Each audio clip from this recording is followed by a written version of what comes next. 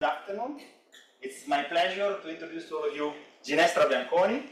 That uh, she will be visiting us actually for two weeks, and it's a wonderful opportunity for us to learn many of the great things that she's been doing. Ginestra she is professor of applied mathematics at, at Queen's Mary in London, and she has had a very illustrious career in the field of uh, statistical mechanics and the interface with mathematical physics, in particular in the context of network. And for, for instance, she has been the one proposing models for network for condensations in network, uh, like Barabási-Bianconi model, and many other great ideas. And she has also written two books, which is actually very remarkable. One of them is about the topics that uh, will be the core of these lectures, at least at the beginning.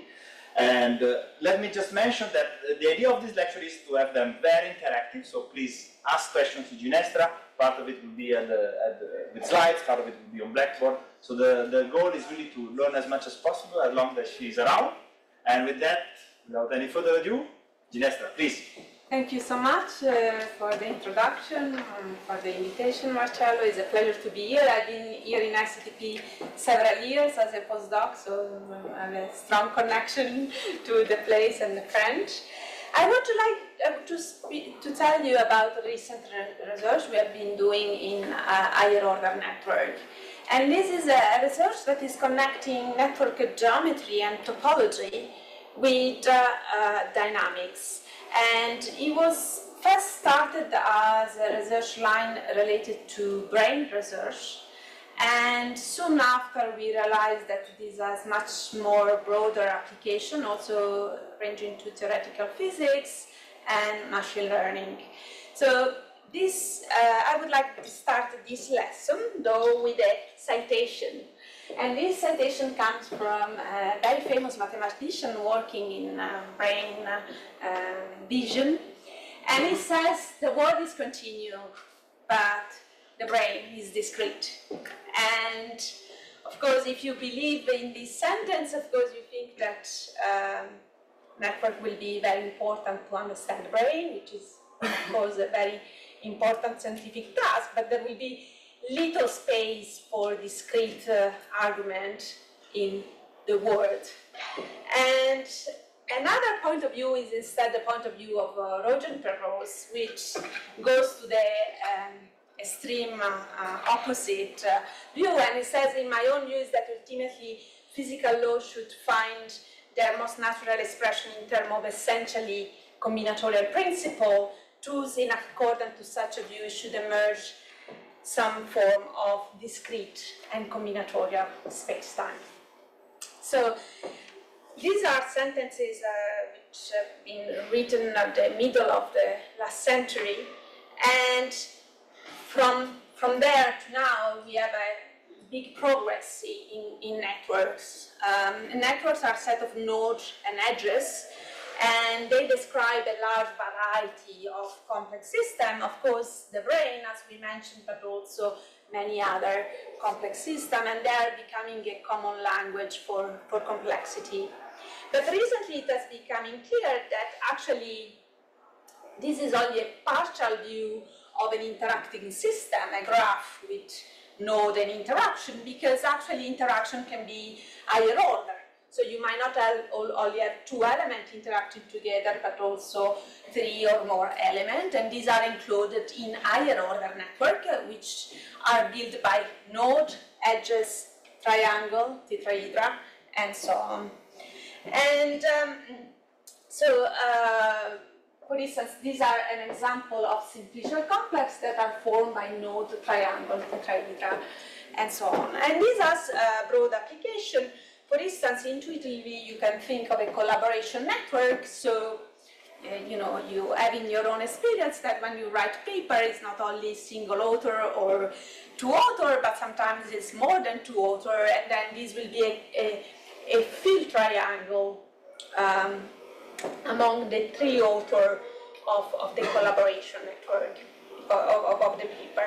And higher order network are also raising a lot of interesting brain research um, because uh, you know intuitively you can think that you can have three regions of the brain that are activated uh, pairwise. So you have three pairwise correlation, but you might also have higher order correlation, for instance, three regions of the brain activated at the same time, and then you want to distinguish between these two cases and have uh, one representation as an unfilled triangle, just two nodes and three edges, three pairwise interaction, or you can have also a three-way interaction, um, capturing this many-body interaction in the system. And actually, this synthesis allow also topological and geometrical interpretation, and there is a lot of interest in the brain to characterize the algebraic topology of brain dynamics, and people are speaking about Betti number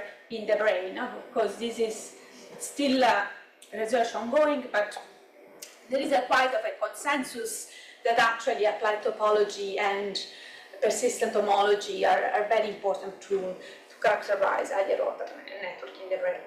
And of course, simplicial complexes before their, their role in higher order network are being used in a lot of application in, in, in quantum gravity because of course also if you don't believe that space-time is intrinsically discrete, then you might want to use simplicial complex to discretize and solve problems such as renormalization uh, of gravity.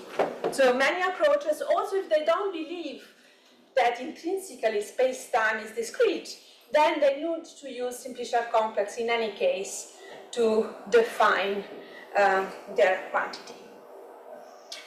So going back to, to, complexity, I mean, there is this uh, general theme that uh, comes from biology, comes from, as a long story in physics, to understand the interplay between structure and dynamics. Okay? So for instance, the structure of the protein and the function of the protein. This is a general question in biology.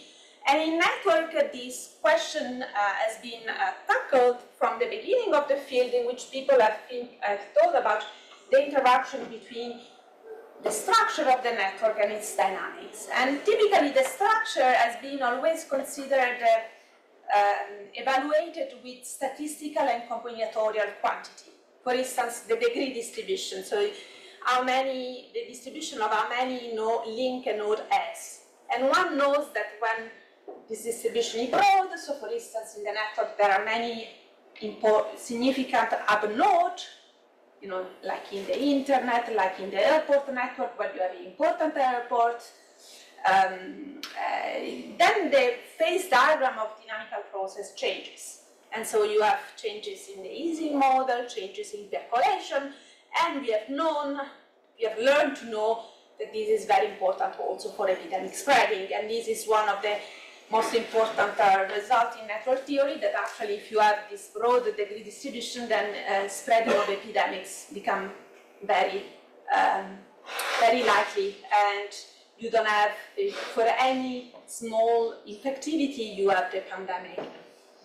But actually, this is only part of the story, because when you look at higher order network, actually, simplicial topology and simplicial geometry play an important role in shaping the interplay between structure and dynamics. And so this this series of lectures is to uh, develop this understanding of how can we have a much broader understanding of the interplay between structure and dynamic, including topology and geometry. And some initial direction, uh, what I highlighted in my, in my, book is a small introduction in book on simplicial complex, but I, I, I think that probably this uh, lecture will give a much broader understanding of the field and, and theoretical basis for this. So what do we mean when we speak about topology? Topology is the study of shape and their invariant. So the invariant, uh, you know, when you have a deformation of, of, of the shape, and uh, some important invariant are the Betti numbers. So the Betti zero is the number of connected components in a graph. So the number of um, so if you have a connected network, the Betti zero is one.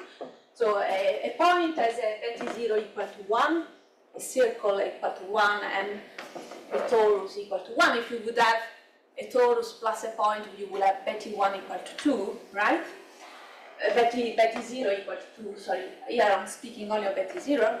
But Betti one instead is the one-dimensional holes like you have in the circle.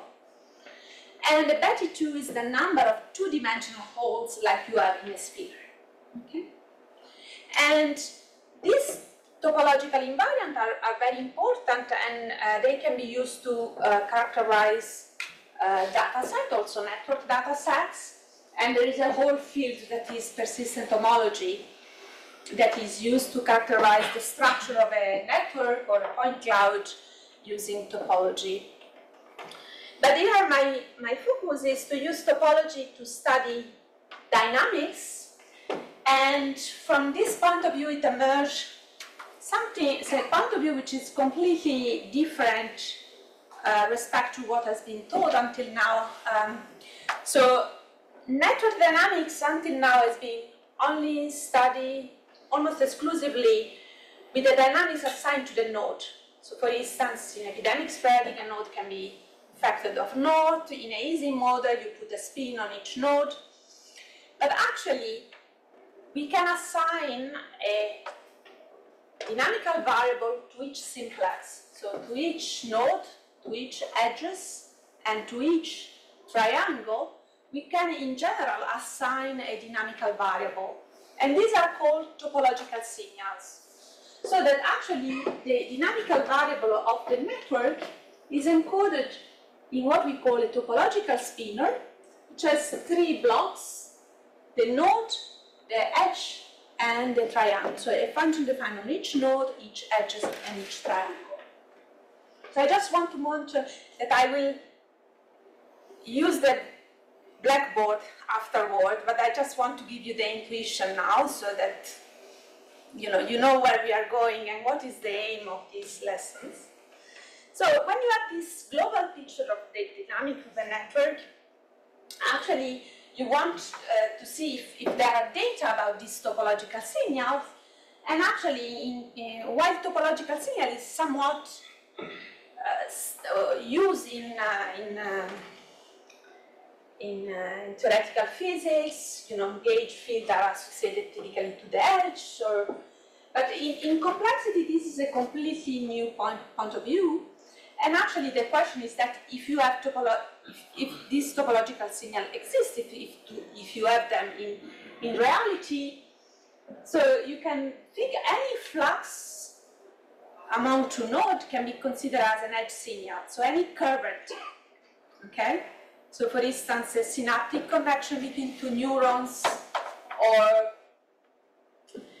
uh, there is an important neuroscientist, Olaf Sporns, which also proposed a way to characterize edge, edge signal between two regions of the brain, so macroscopically, not between two neurons.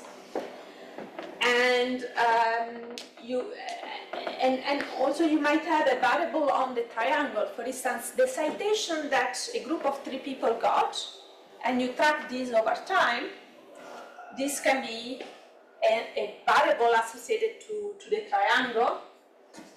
And another set of variable are, are vector field. So if you define the speed of wind at given location on the surface of the Earth, and you have a triangulation of the surface of the Earth, so you, you have this vector there in each point, and then what you can do is you, you can project this vector on the triangular tessellation of the Earth and consider that projection along the different edges, and then you can treat it as cochain.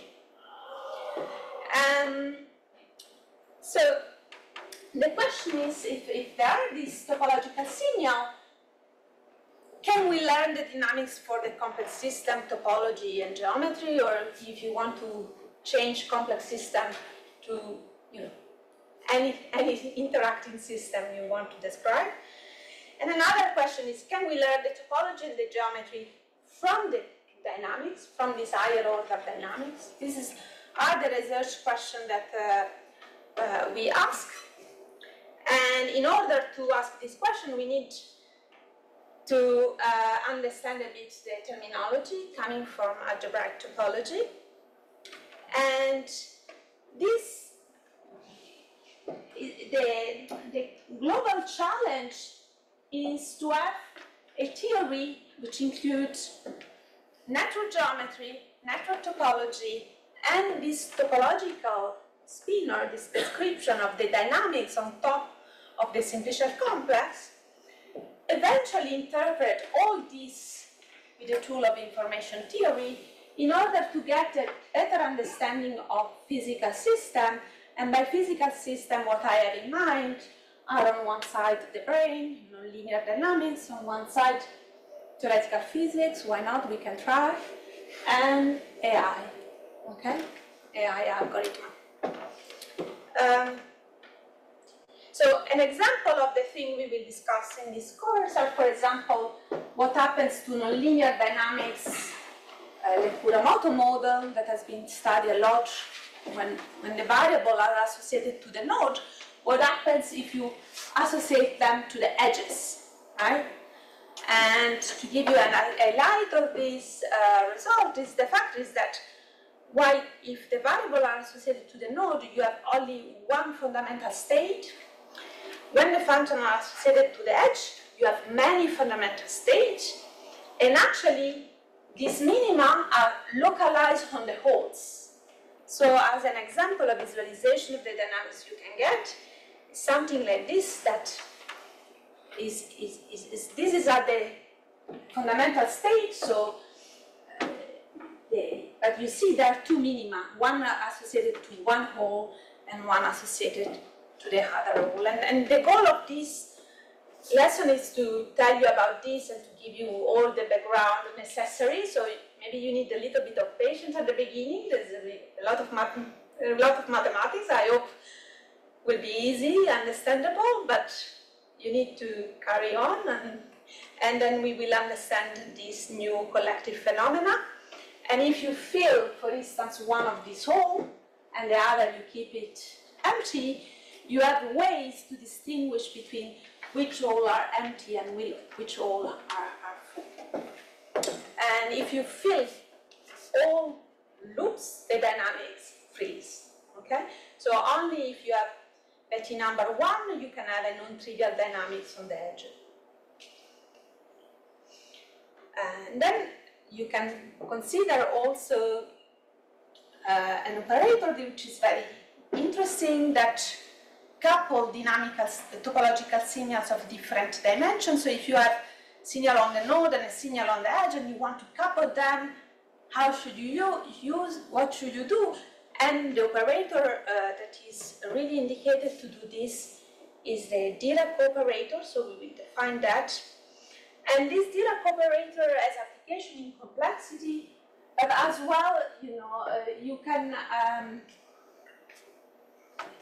translate in the discrete world um, some of the result of theoretical physics. For instance, in the Nambu-Jona-Lasinio approach, you, uh, you, you you have a, a, a, a Dirac, massless Dirac field theory, uh, which with a nonlinear interaction, which acquire mass thanks to the nonlinear interaction.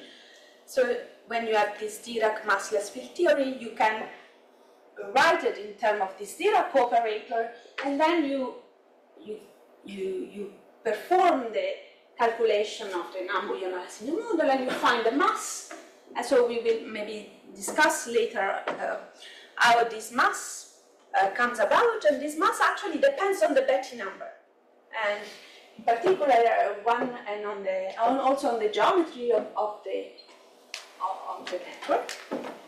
So just to mention some of the highlights I would like to touch during this fourth lesson. And another uh, approach is trying to have information theory which uh, couple matter field described by, by topological spinor and geometry, so metric degree of freedom.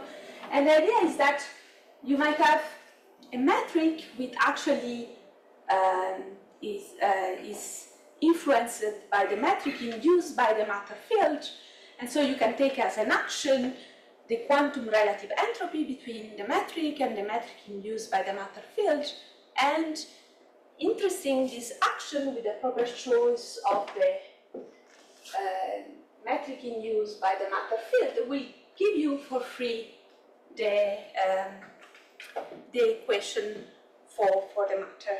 So the Klein-Gordon equation and also the Dirac equation. But this is, uh, so the outline of the course is this one.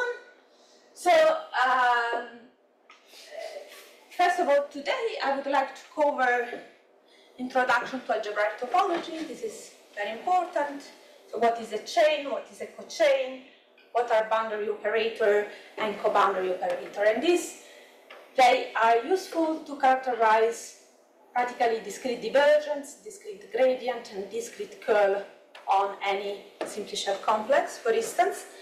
In lesson two, we will describe Hodge Laplacian, which de describe diffusion from n simplices to n simplices, and the Dirac operator as well, which is the square root of the Laplacian.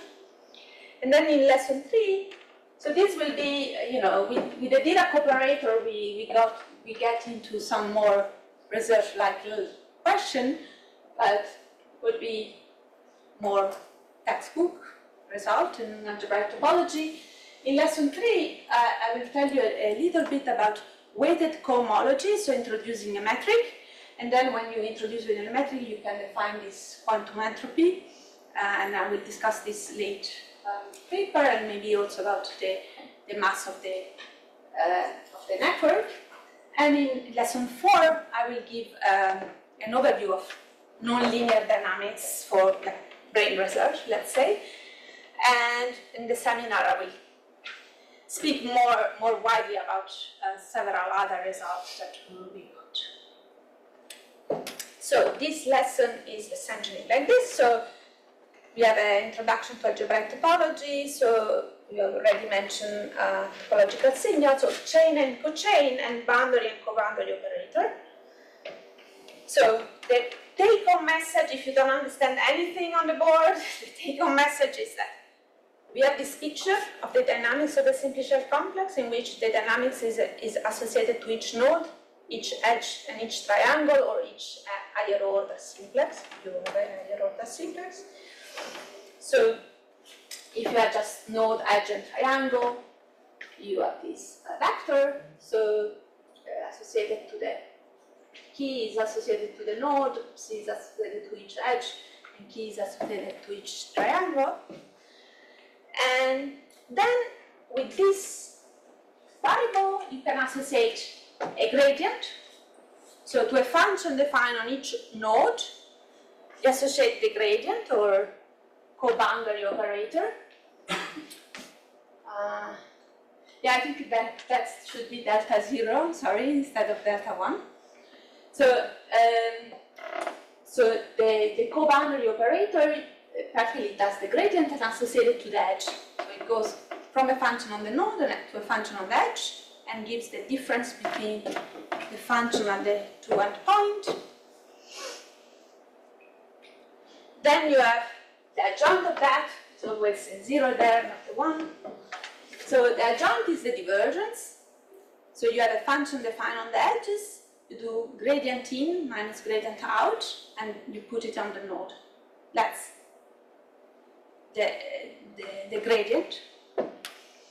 And then if you want a function, if you have again a function defined on the edges, but then you have also triangle, you can do the curl.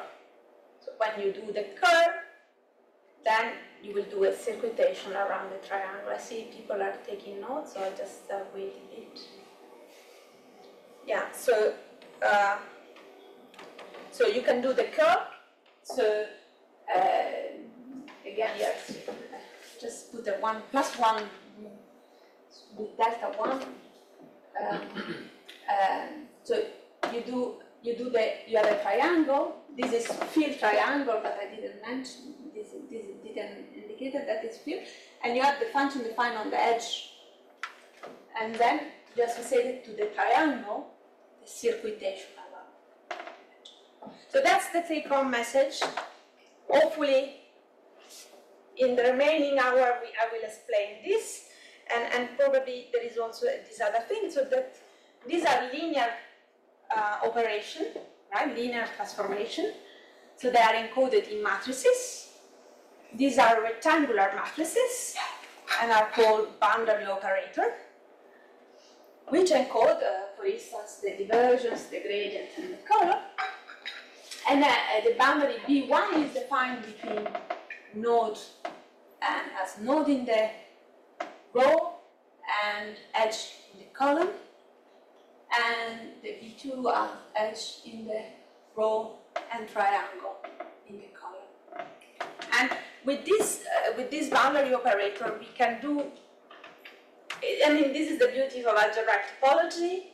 Practically, you reduce topology, which seems quite esoteric thing, you know, to look the number and things like that. You reduce all these to linear algebra. And then the only difficulty is to handle rectangular matrices. So in the field of network, people have usually always used adjacency matrices, which you know the adjacency of node. Uh, these are square matrices, but actually all the higher order topology of a simplicial complex can be encoded by a set of rectangular matrices. Okay, so this simplifies. So for the moment, we will not use tensor or anything like that. We will only use this rectangular matrix. Of course, you can multiply in such a way that it becomes square. That's that, that's the only thing for for today that I want to tell you. Um, and then tomorrow we will go um, a bit further. Sorry, maybe a dumb question. Um, so this description where you have, um, you know, the different simplices, there's redundant information in that, right? Um, is that, Redundant information in the sense that it's sort of like an over-complete description. Yeah, so uh, yeah, we, we will. So in a simplicial complex, there is a big debate. I want to skip a little bit about this, but we can we can go and we can discuss further. Actually, be a good result for that. So when you have data, you might have data that is in the form of a hypergraph, not of a simplicial complex. And the difference between hypergraph and simplicial complex, which I will mention uh, later on, is that actually uh, in a simplicial complex, simplicial complex is a set of simplices which has the additional condition that is closed under the inclusion of the faces of each simplex. And this means that if you have a triangle, then you need to have all the edges and all the node of the triangle itself. So this leads probably to your question that is redundant. Um, instead, if you have an hypergraph, you only have you might only have a triangle without I see, the edges. Um, and, and somehow people and computer scientists always push with, I, with hypergraph um, because they say that simplicial complex, when you reduce your data set to simplicial complex, you, you lose some information because practically you need to include these edges also if, for instance, two, paper, two people have not a paper together or something like that. But um, this is actually only a partially partial true because if you have weighted simplicial complexes, you can encode in the weight the information about the hypergraph. So you can have a linear transformation between the hypergraph and the simplicial complex that is um, taking advantage of the weight. So actually simplicial complex might also be useful to weighted simplicial complex might be also be used to represent hypergraph data. Okay, thank you. And we have a paper on that with Baccini et al. Are there other questions or? Just a silly one. So these are boundary operations, fine, The divergence getting curl, and the co-boundary, can you repeat again the difference? The, the co-boundary, uh, yeah, so if, if you have a, if you have, uh, so the co-boundary uh, is defined, is defined over cochain, right? So function defined on node edges and triangle.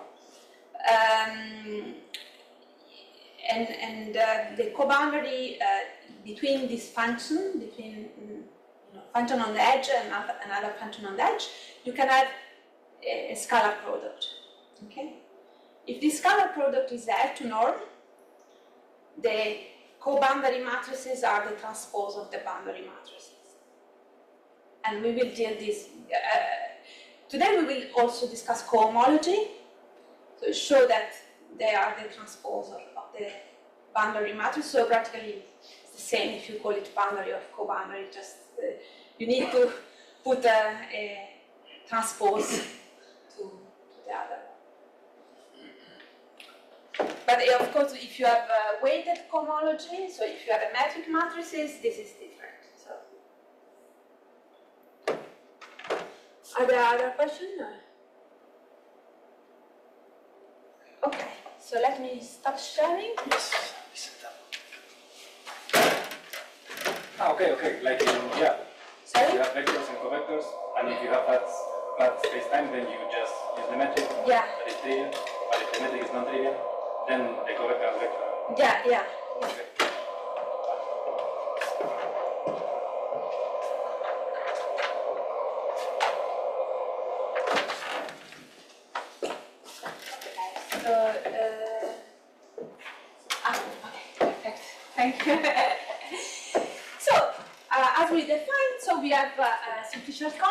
Is a set of simplices. So let's define the simplices. So simplices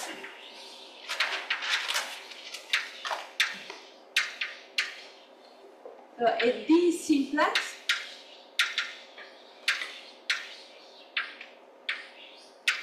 is a set of D plus one nodes. So this is, so if, if the simplex is called alpha, nodes are B0, B1, B2, B, um, okay, sorry, BD, BD, D or M. So you have, for instance, a node is a zero simplex. An edge is a one simplex. And a triangle, filled triangle, is two simplex. Okay? So, what are simplicial complexes? And here we go back to, the question before. Simplicial complexes are a set of simplices with additional conditions that are closed under the inclusion of the faces. So, simplicial complexes.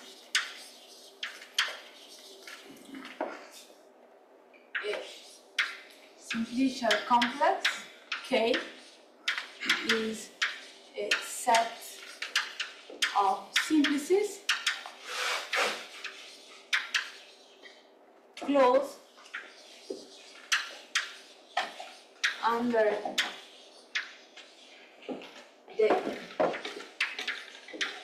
inclusion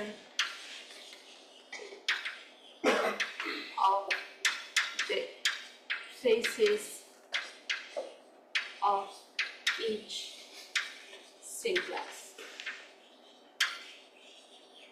What are the faces of each simplex? The face of each simplex are simplices that are constructed by a proper subset of the node. So, for instance, if you have this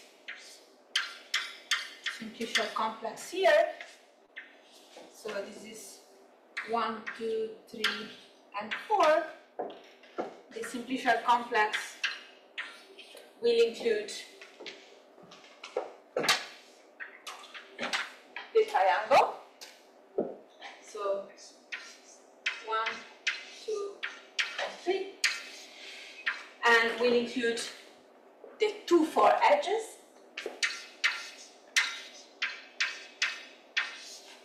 But then I need to include all the faces of the triangle and all the faces of this edge. So I need to include one, two, two, three, and one, three. I need to include one, two, three. These are the faces of the triangle, and the faces of the other edge is two, which I already have.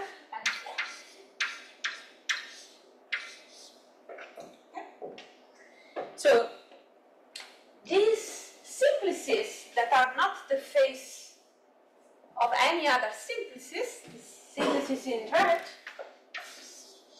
these are called facets.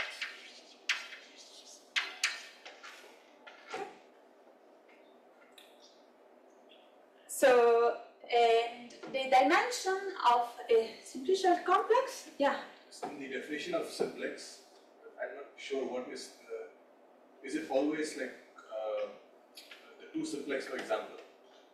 What's the difference between that and something that doesn't include the middle part, for example? So the triangle without, not filled triangle, Okay, so if you have, you tell me, you know, you have this, and you have this, okay? So in this construction, what I would have, I would have the triangle, right?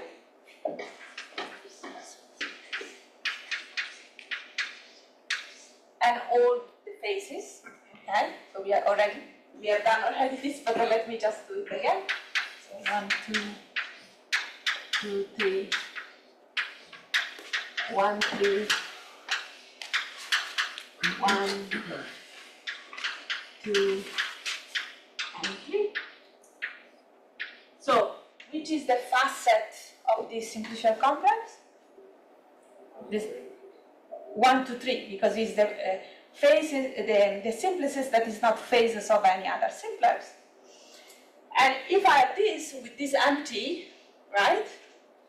How would I do? Just edges. Yeah. The faces are the edges. Okay, so the, the, the faces are the edges. So I will have one, two, two, three, and one, three. And then I need to include their faces, so I need to include their node. One.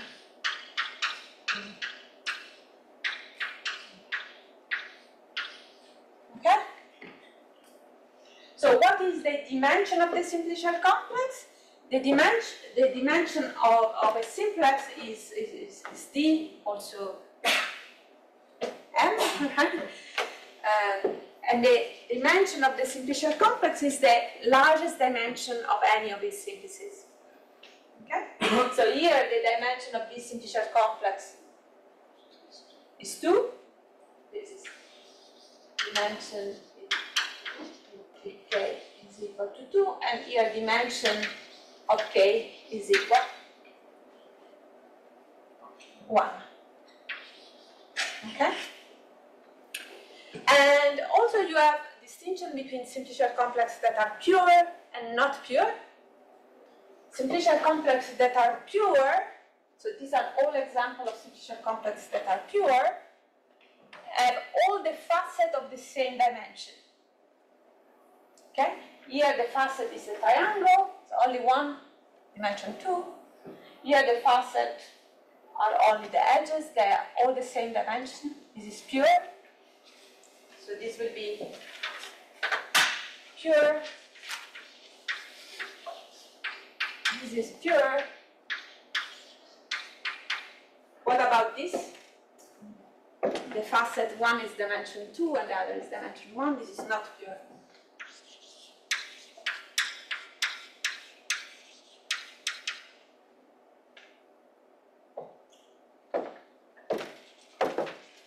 Okay. So I want to just to mention before we go to um, to algebraic topology really, because I, mean for me this was uh, quite important to realize because I, I was learning this thing while uh, while working on this topic. Is what is the equivalent of a manifold in the discrete world, right? because not every simplicial complex is a manifold. So some of the research questions might actually be, be mal posed for instance, the curvature of a simplicial complex. There is a lot of research on the com- com- com- mm, uh, curvature of a simplicial complex, but actually, the only one that will have the right continuum, or the right, or a continuum limit that is the one of differential geometry will be the curvature of a discrete manifold. Because the curvature of another general simplicial complex that is not a manifold will not have a continuum limit in, in the term of differential geometry, right? So I think for me it was quite important to point down what makes something a manifold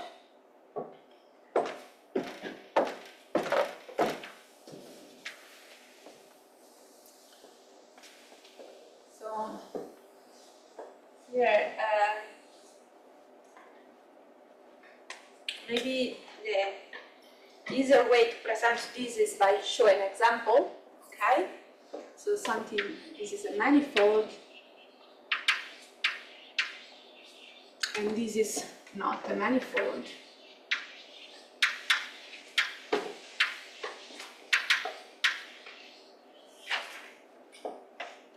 So let's start with not a manifold. So also if I, the manifold should be pure, but also if I have a pure simplicial complex, if I have something, I use another color because yeah, just it, it's not anything special. I add another sim- simplex here, right? like a fin, something that branches.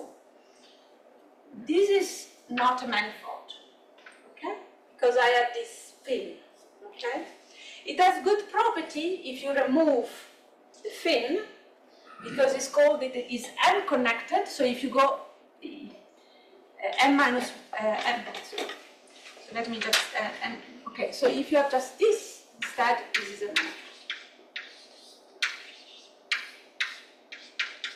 Okay.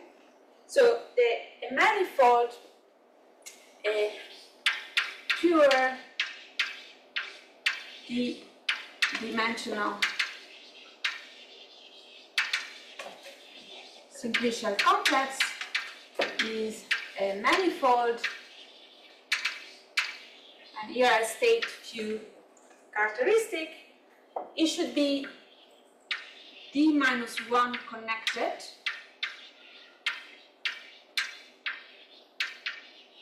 That means that if I'm on this simplex I can go other d simplexes by path that cross d minus 1 simplices. So here I am in a two-dimensional simplex, I cross an edge and I go to another two-dimensional simplex and then I go to the other two-dimensional edges. Okay? So if I have something, for instance, I put it here, not a manifold again, I add here this thing. This is not one connected because I need to go through the node to go to the other triangle. So it should be d minus 1 connected. And uh, it should have an additional property that avoid pinches. So something like, uh, I don't know if I can, uh, can draw this picture. Can something on the connection? Okay.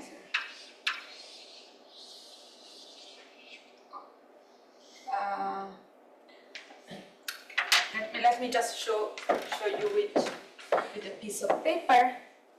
So you need to avoid the, the fact that you have manifold folds and pinches. Okay.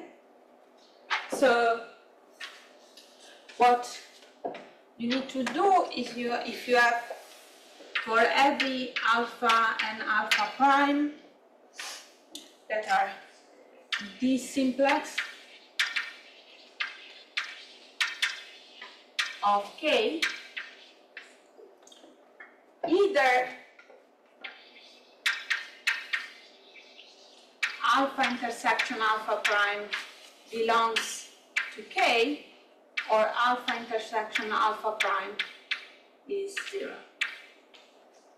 So it cannot be a point. Uh, So no, if there are edges, they cannot. sorry, it be- belongs to K and should be d, d, d minus one be dimension. dimension.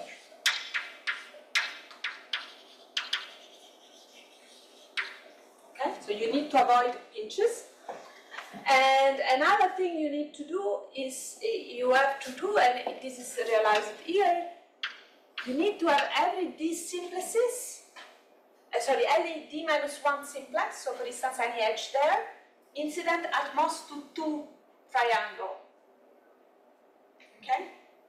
So any, any, any d simplex is incident to at most two these simplices. Okay, so here you have every edges is either incident to one triangle or to two triangle. If you have a volume, right, you have a tetrahedra and another tetrahedra, you want every triangle incident at most to two tetrahedra to have something that is a manifold, that is a volume. Okay? If you have, for instance, this edge here is incident to one, two, and three triangles, so that's not good. Okay? So Ginestra, I have a naive question.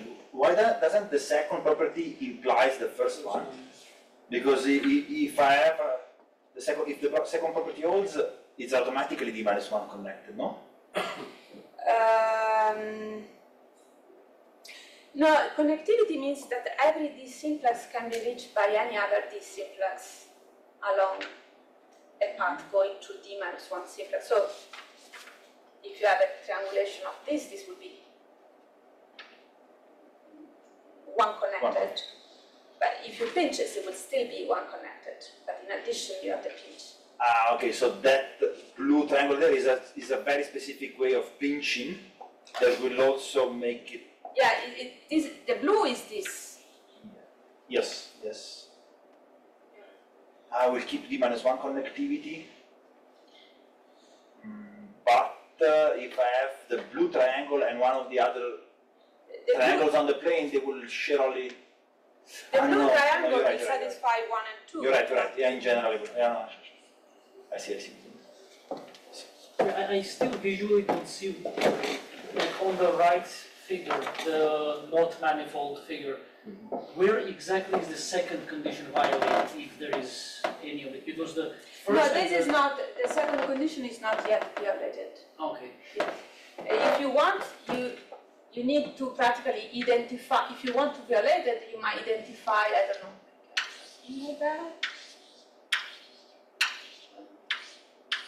And and you identify, I don't know, this with this. okay, I see.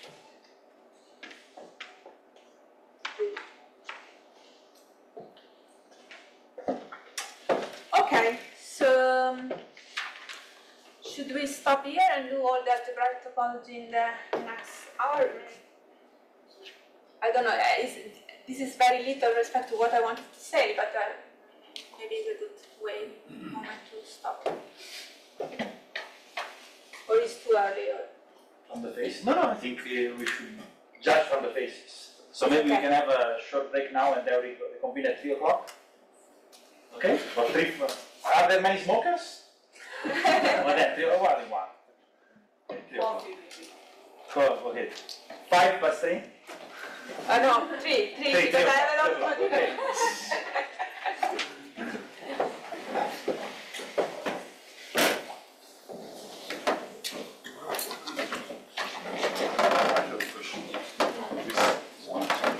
Oui, grande. For example, if you No, ma three triangles, your simple is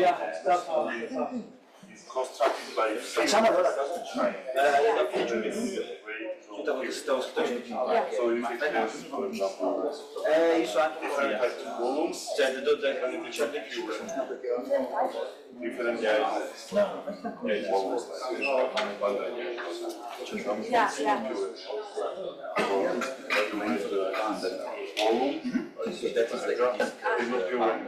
Yes, include about the communism. Let's give. Certo, sono Giacomo, sono Cristiano. Ciao, piacere, ciao, ciao, piacere. Ci conosciamo indirettamente no, no, Francesco eh, è eh, ciao. Piacere. Noi lavoriamo, tanto Francesco lavora su quanto computer, siamo una versione persona di quanto fatto studi, cioè la formulazione di box, lavoriamo con una wave, minimizzazione, a Niles. A Niles e Vabbè, quindi sappiamo è che è un angolino insomma del grande spazio ah, okay, quindi, una e, ehm, magari una volta possiamo anche di raccontare quello che facciamo, che stiamo ci scontriamo da un lato almeno due. le machines no? che, eh, che ottimizzano questi problemi cubo, quindi uno scrive a mettonelli di spin quadrati, si minimizzi e noi stiamo cercando mappe di modelli fisici di polimeri e siamo riusciti i primi a mappare i modelli di self-avoiding home sul reticolo perché qui serve la sintetizzazione con il problema.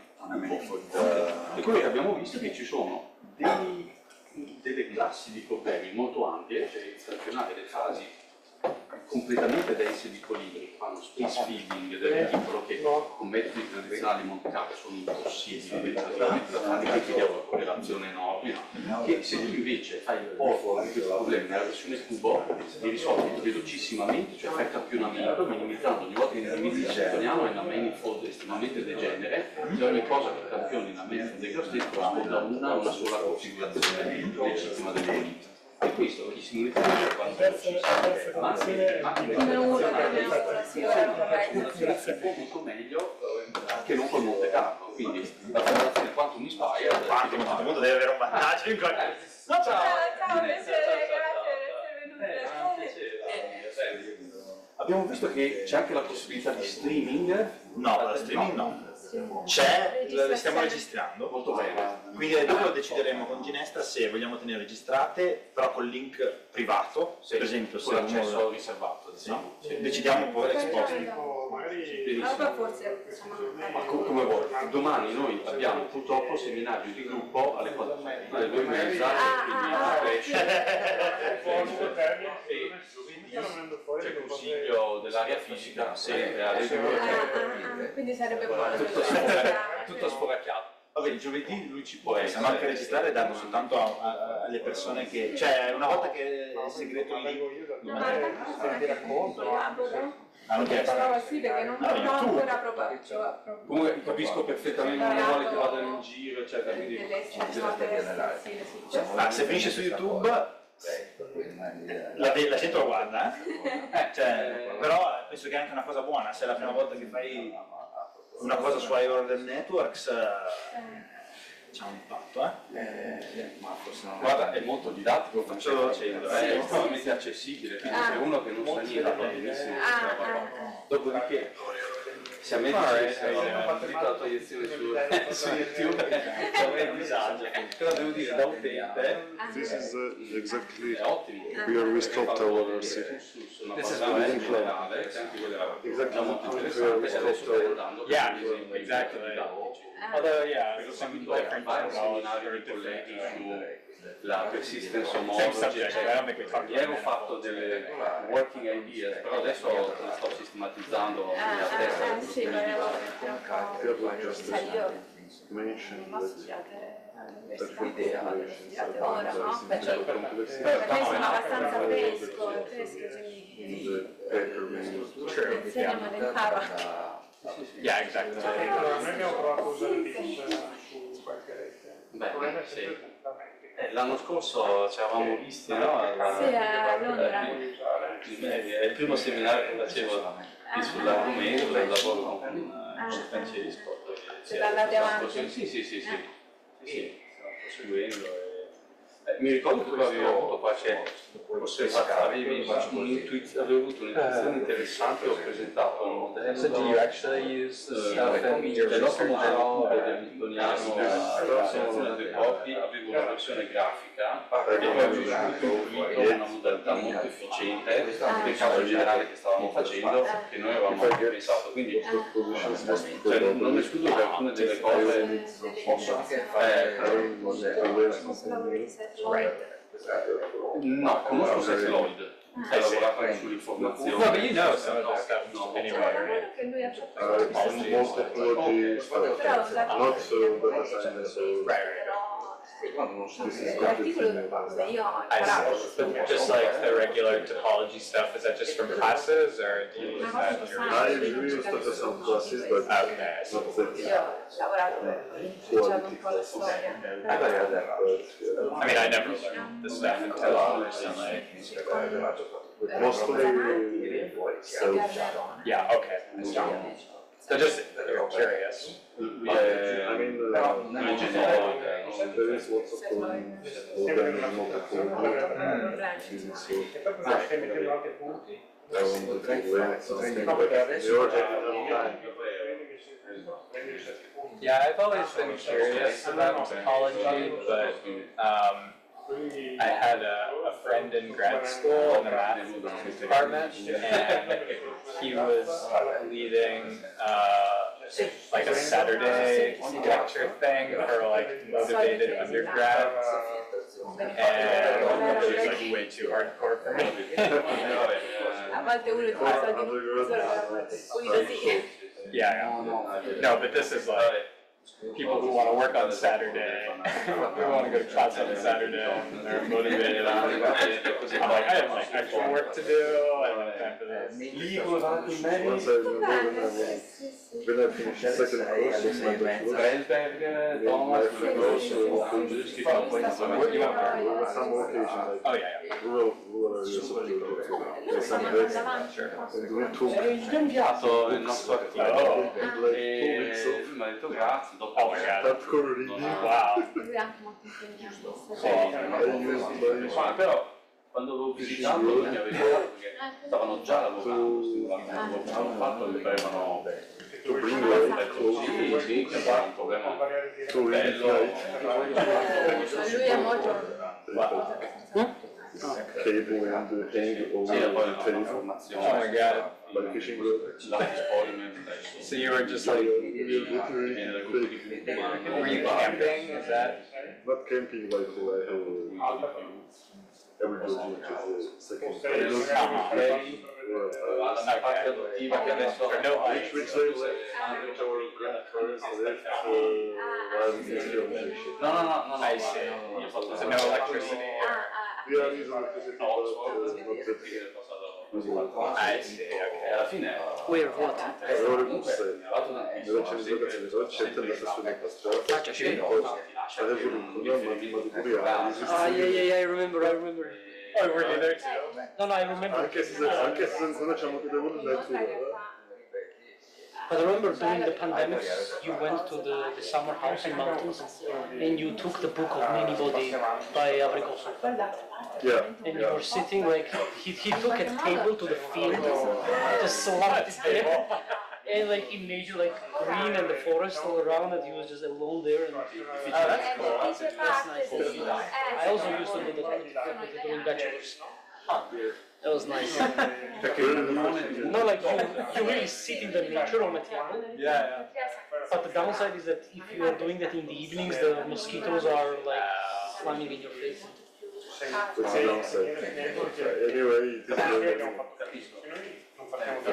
you get tired, but not as much as Yeah. while walking indoors. So, il grado di internazionalizzazione l'autenticità è rispetto a quando ero stato io che ero How we don't know Marakcija, što da damo se E sad znamo što je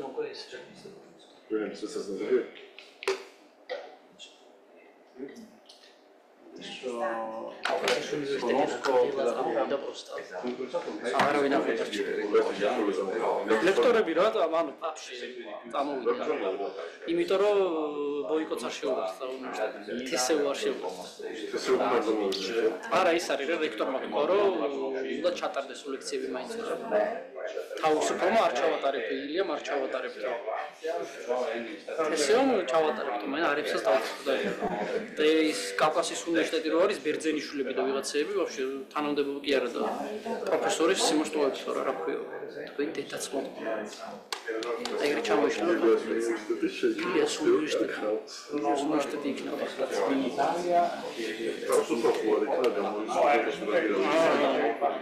We're speaking about uh, politics. Political stuff on Georgia. The universities went on, on a strike, except one university, the one where we met each other, and the professors are leaving their positions there because of that. Like permanent professors. Yeah, they're like, I quit. Which is pretty interesting.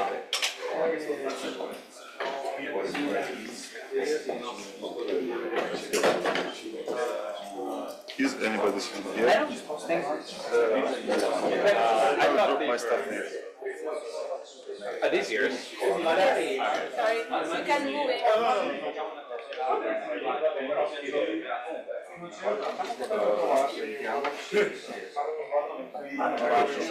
Ne speriamo che niente, no? leggo, ma faccio fatica e magari Prego. Scusa, io sono tipo bambino, ho bisogno di Sì, sì, sì. Thank you so much for coming back. So, before we continue, I need to correct something. So, here it was D minus 1 simplex should have at least incident to, to D dimensional simplices. So, here the edge should be incident to at most to triangle, right? And in 3D, the triangle should be at most incident to, to, to. And this, uh, there was a question here, this is a condition to have a manifold with boundary or without boundary, right? And if you really want a manifold without boundary, you need to impose that any d minus 1 simplices is exactly incident to two d-dimensional simplices. Okay? So this will have a boundary, right? If you think of something that doesn't have a boundary, every, every edge, you should be able to find another triangle. Okay? Okay, so let me start uh, now to uh, discuss about algebraic topology. Uh, and uh, let me cancel this out. Um, and we, I start with some notation that will be useful as a reference. So, so notation.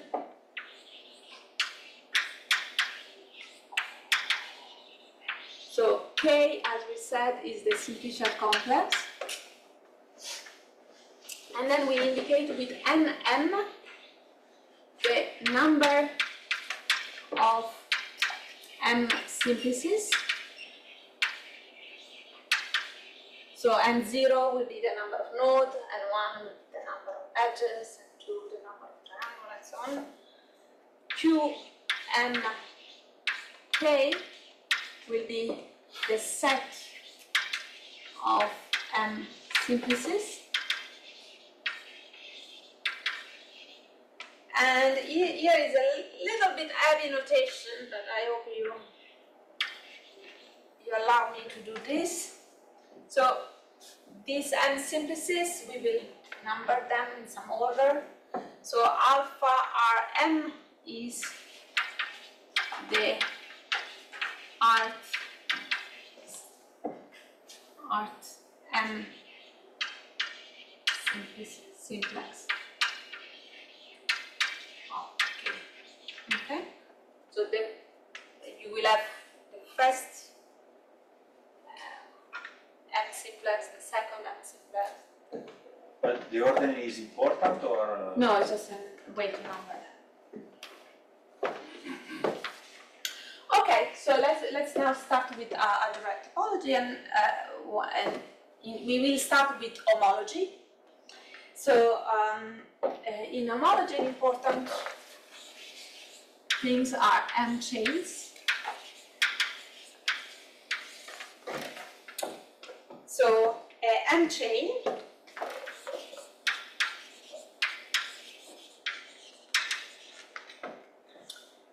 Cm in the set of, of the n-dimensional chain um, consists of the element of a free abelian group with basis on the n simplices. That means that can be expressed as a linear combination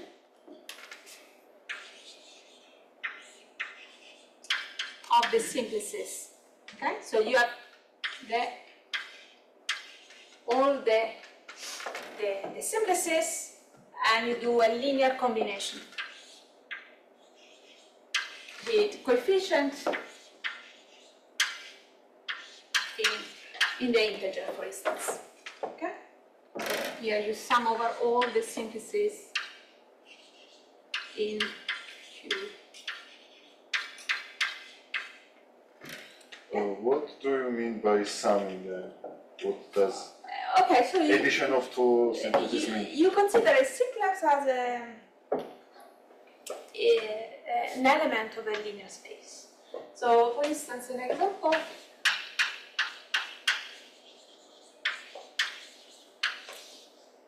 You have your one, three, two, four, something like that. And you might consider this field, for instance, right? And you want to consider A, which is a one chain, okay? And I give you as A, which is a one chain. I give you one three minus two three plus is a linear combination of the simplices. Okay? And with coefficient in the z, so practically, ah, ah, sorry, I forgot something. Um, yeah, I forgot something. I, I will, I will add now. Um, so practically, let me just tell you. You go from 1 to 3.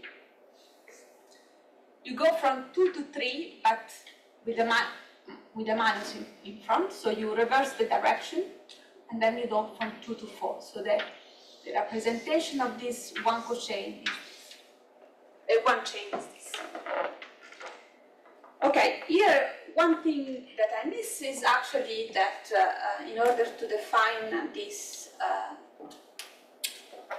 this linear combination of simplices, you need to not only consider simplices but oriented simplices. Okay? So a simplex, so you need uh, simplices are simplices are associated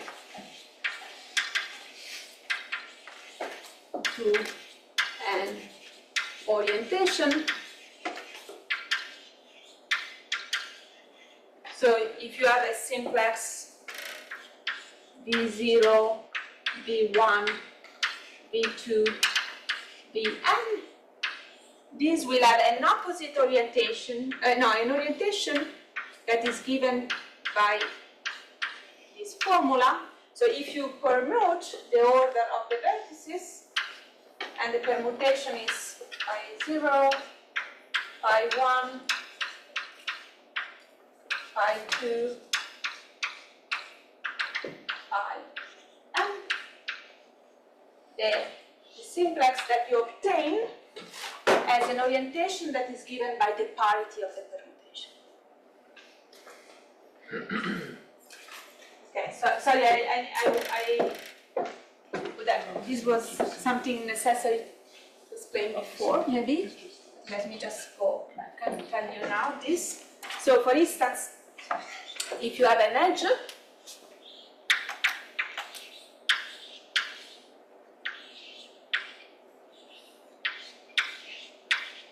you have RS, this has opposite orientation than SR. Okay?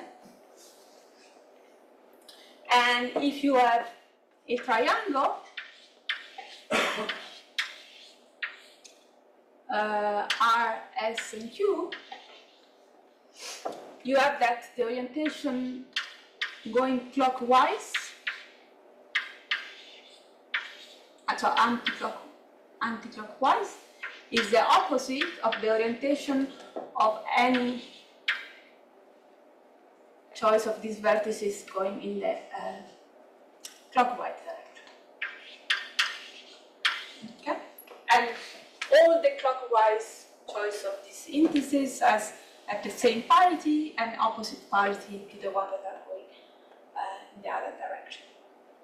So to choose the positive orientation? This orientation is quite interesting and is different from direction. So one usual misconception of people that start to look at topology is that they associate to this orientation the direction. But orientation is different from direction. Okay? So for instance, you can have a flux, something going from, along an edge, right? And you want to give an opposite sign for flux going in one direction and going in the other direction. Okay? And the orientation will tell you which of the two directions will have positive orientation. Okay? So if you if you have something that goes from R to S, the orientation, if you give a positive orientation from R to S, will tell you that the flux that go from R to S is positive. But if you reverse the orientation, the flux will be negative. Okay? Um, so, so Sorry, Ginestra, but are, how you saying it, it looks like they are the same thing. no, it's a convention. Ah, okay, fine, fine. It's a convention. So you, you go from R to S, okay? And you need to decide if this is positive or negative. Yes, exactly. Okay? The important is that you can also go in the other direction, but you associate the opposite sign. To which you associate the plus and to which is associated the minus, this is your orientation. But once you have defined it, then you can interpret it as a flux. If you have a flux, you, in that in that direction.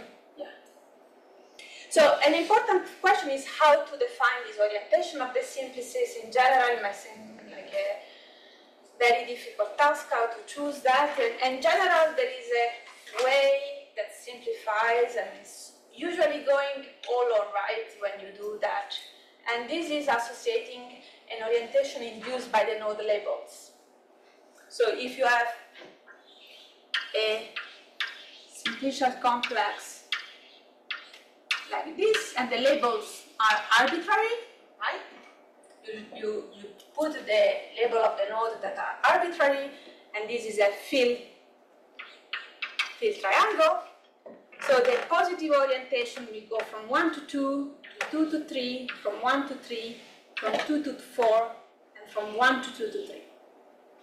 We associated this as the positive orientation, and a lot of property will be invariant if you change the label of the node. So we will speak tomorrow about Laplacian. The spectral property of the Laplacian will be independent on the label of the node if you use this orientation. Okay? So in many cases, is the way to is the way to go. In some cases, you really want to design your orientation in a non-trivial way, then you need to. Uh, maybe a silly question, but are all simply co- complexes uh, orientable?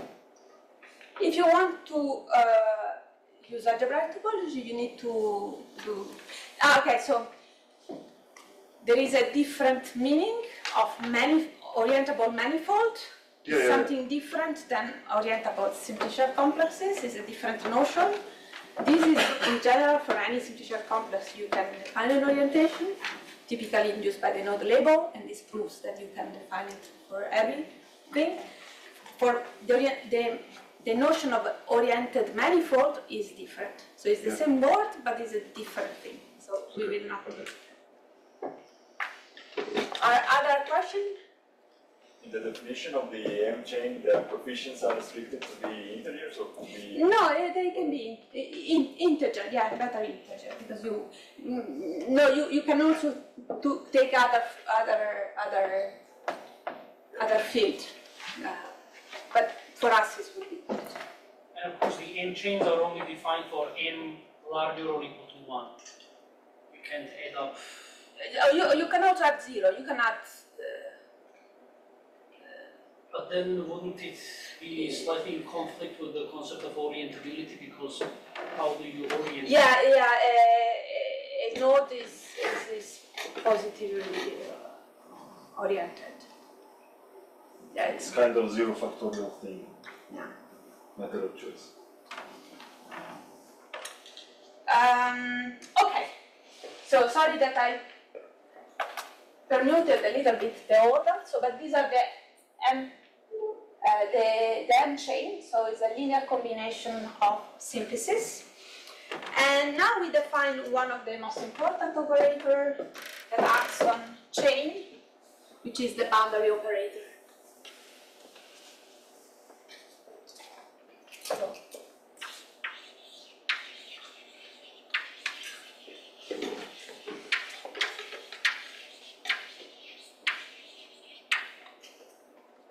Okay, so the boundary operator, dm, acts on m chain and generate m minus one chain. And is a linear operator.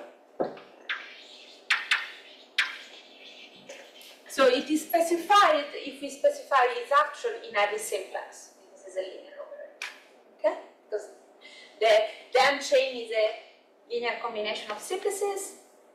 The boundary operator is linear, so it's sufficient that we specify the action of the boundary operator on an M simplex. And this is given by the sum over p between 0 and m of minus 1 to the p. And then here you have of course, you need to have m minus 1 simplices. And these are m minus 1 simplices where you remove the p node. Okay, so pp means that you uh, removed vertex.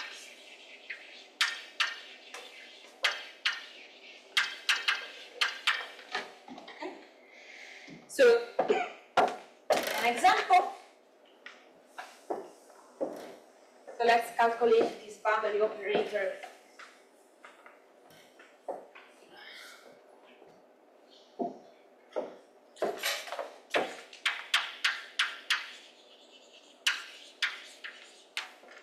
So we have R and S.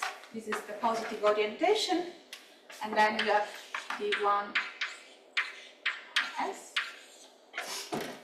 So you first remove the zero element, so the first one in reality is the zero, and the sum is one. The, the, the, the coefficient is one.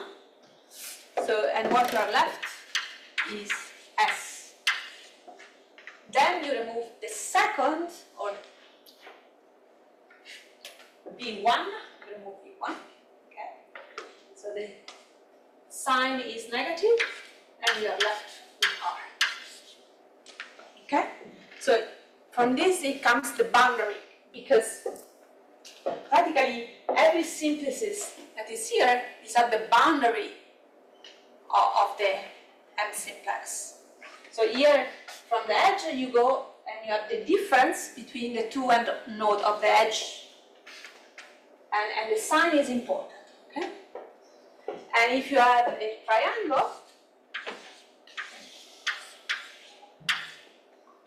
so R, S, and Q,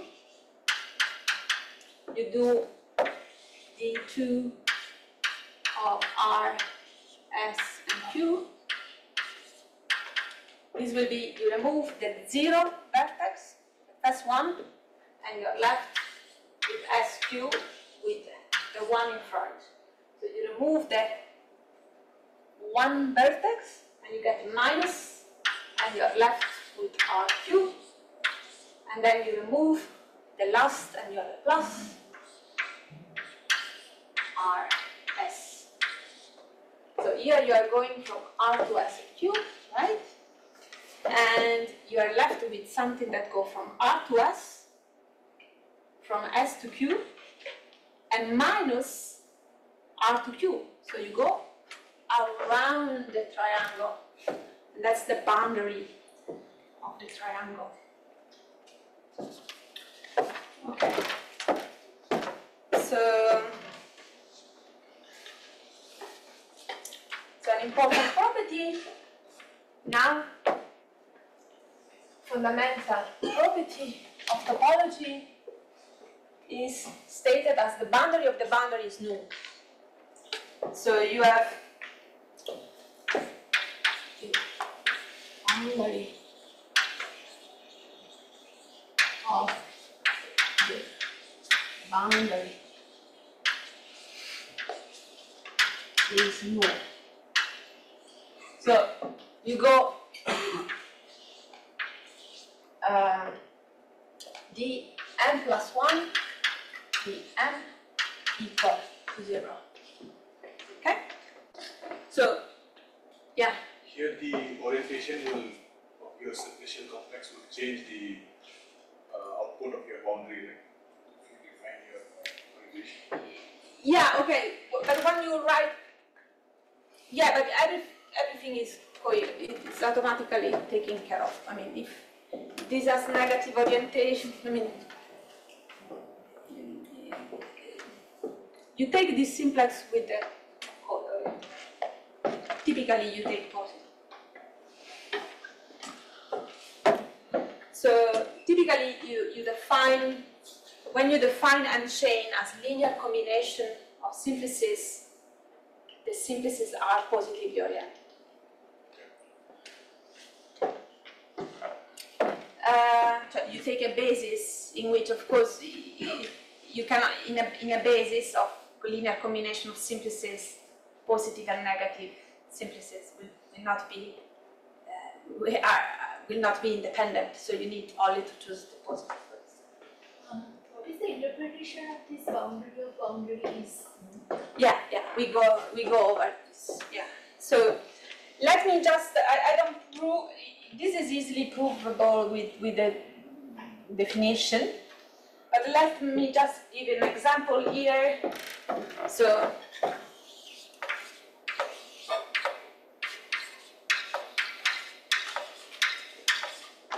So you want to do this, right? So this we have already done here, right? So we are left with the one of what we have here, which is RS plus SQ minus RQ. Okay, and then you want to use this rule, and then you, you do it, right? So you do uh, last minus first, so S minus R plus Q minus S. And here you have the minus in front, so you do plus R minus Q. And see the beauty here, everything simplifies. So S with minus S, Q with minus Q, R with minus R, and this is zero. So, because the boundary is what is at the boundary of the triangle. So we have seen that what is at the boundary of this triangle are these three edges with the correct orientation. But if you have this one chain, there is no boundary of that because it's closed. right? So from from this from this uh, property, it follows that you have some groups, which is the curl of the M. These are all the chain whose boundary is null, and you can show that these are cycle. These are cycle group.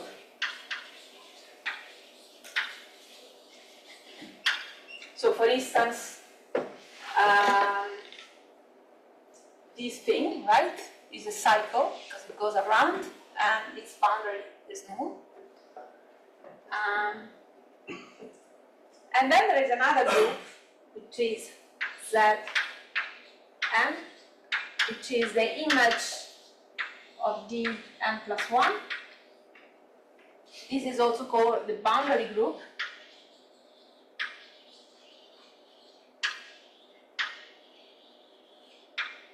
And the boundary of the boundary null means that any image of d minus 1 is in the kernel of delta time. So the image of delta m plus 1 is included in the kernel. Okay. So in particular, let me modify here a bit.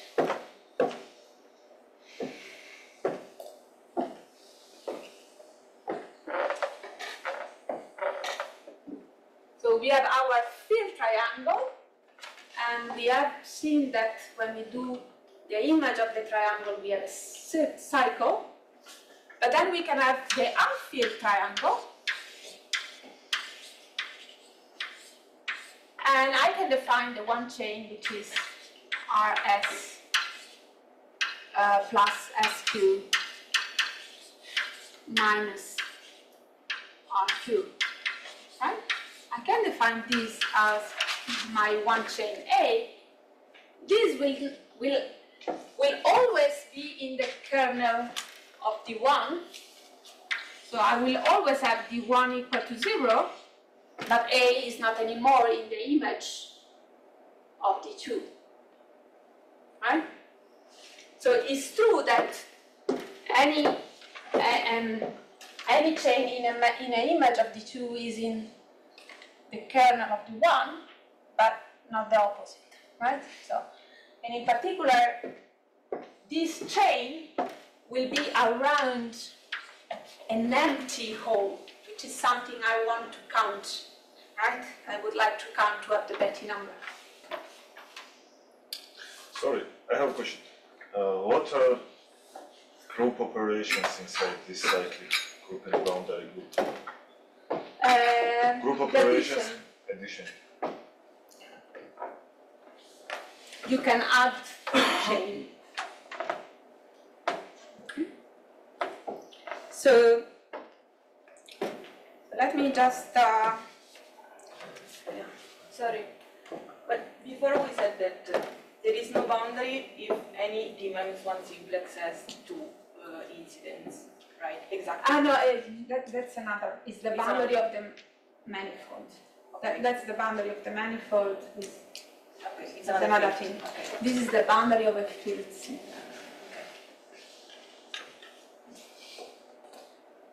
Yeah, well, you, you can also do the boundary of the full manifold, but in, in that, so i- i- of course, here you have a simplex, you do the boundary of a simplex, but if you are, you have something like this,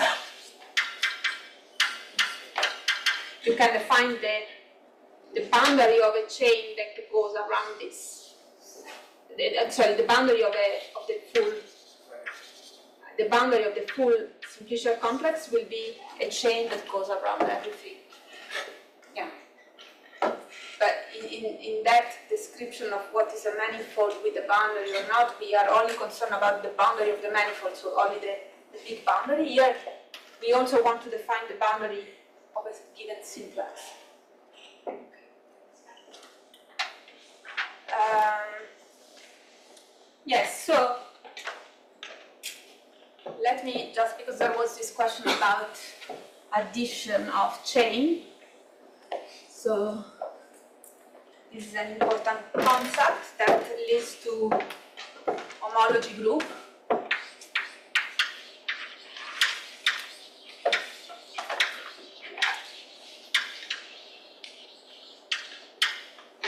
So the homology groups and M are quotient group between the kernel and the image. Okay? It means that this, uh, this, this, uh, these are homology group. So uh, it follows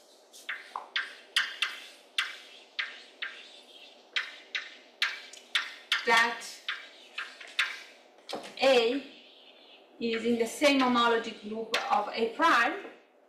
If A is equal, if A prime is equal to A plus B, where B is in the image of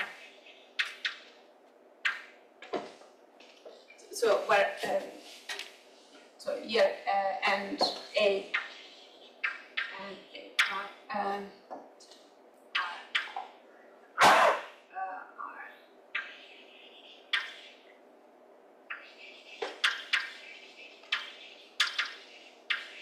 okay?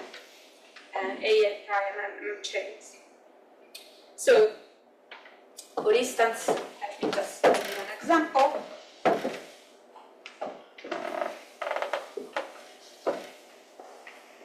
So here I have this thing, and here I add something. I,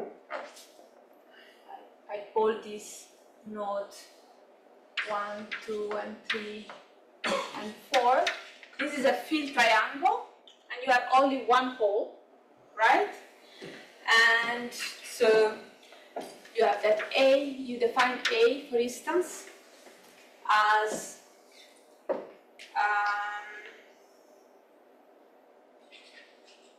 uh, sorry, let me just go with the same example I have in my paper, which is this one.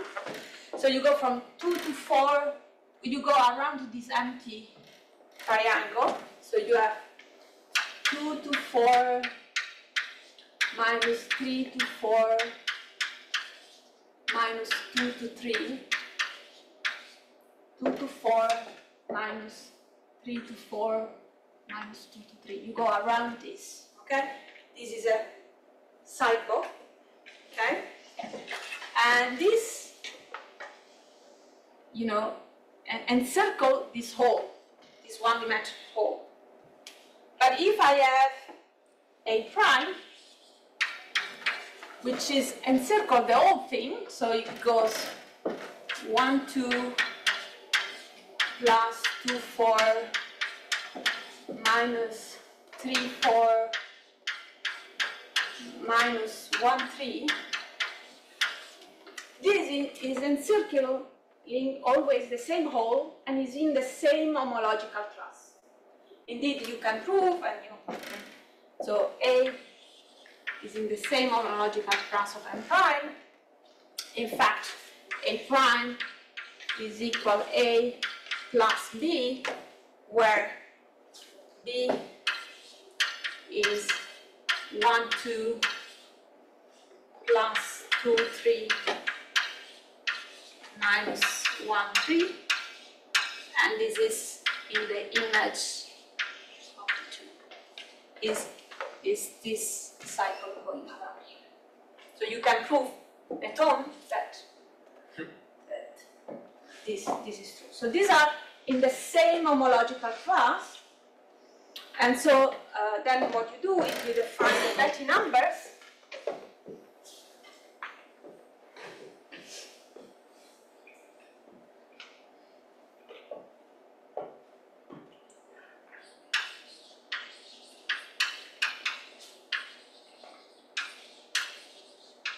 So here practically of this homological class is sufficient to take all cycle going around this hole with a given coefficient in the integer, you know, 2 and 2a, 3A, 4A. So the homological group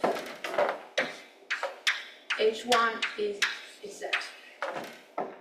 And the Betti number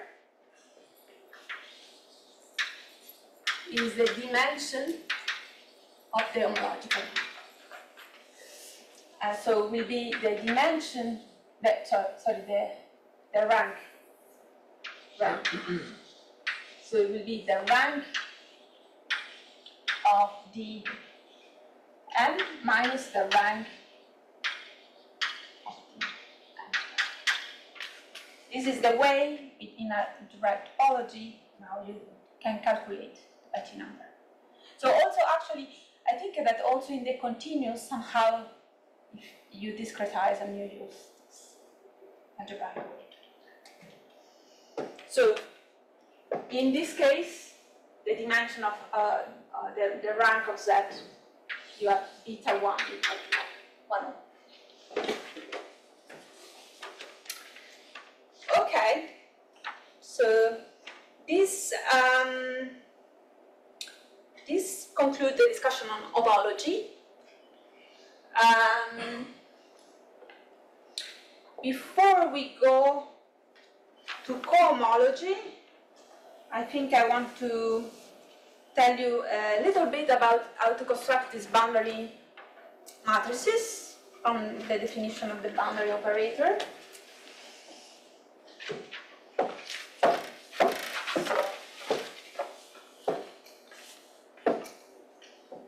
So you have that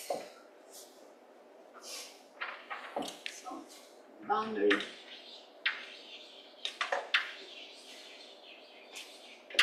matrices.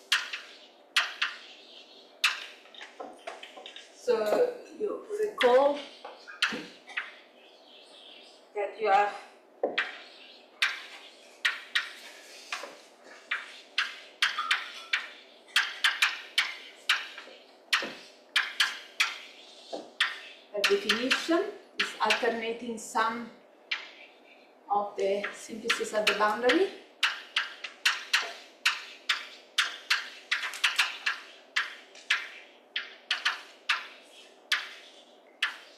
Okay? Uh, so the boundary matrices are the coefficient from this transformation. So the boundary Bm is a n minus 1 times nm matrix. Well, so if you have B1, this is the number of nodes times the number of edges. And so let's say we have our simplicial complex, one, two, three, and four. I will go here, I run this all. So you want to construct B1. This is quite easy, so you put all the nodes as the row and all the edges as the column.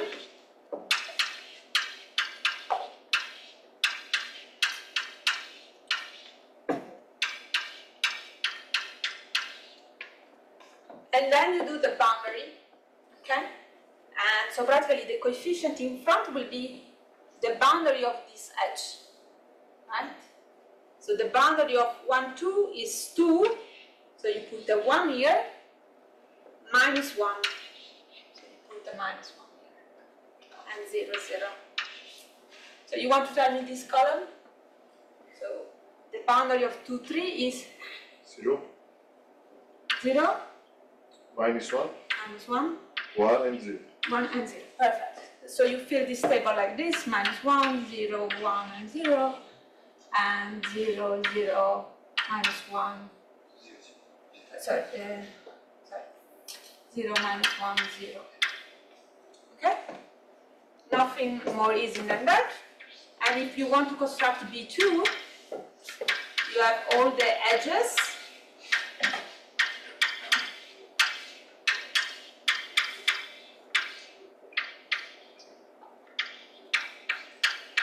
here you have the triangle. And here you, you put the boundary of the triangle. So again, you go around the, the triangle, so you have one, two, two, three, minus one, three.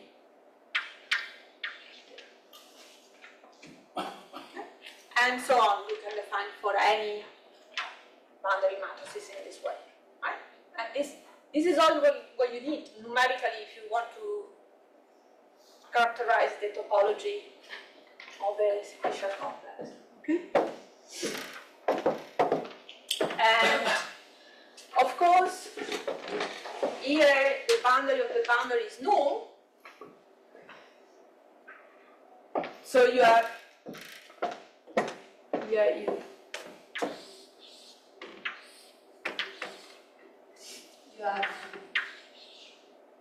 uh, this the boundary of the boundary is null but if you want you can also do the same the transpose operation. So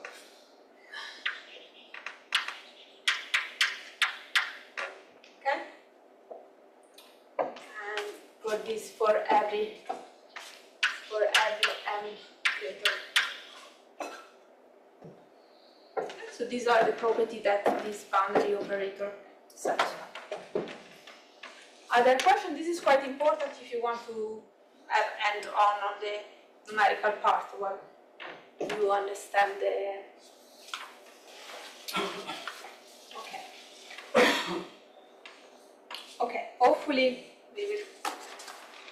able to move to cohomology now. So is there a simple property that given an adjacency matrix gives you the, the boundary matrix of the corresponding graph if you, if you assume that uh, all the faces are blank, for instance?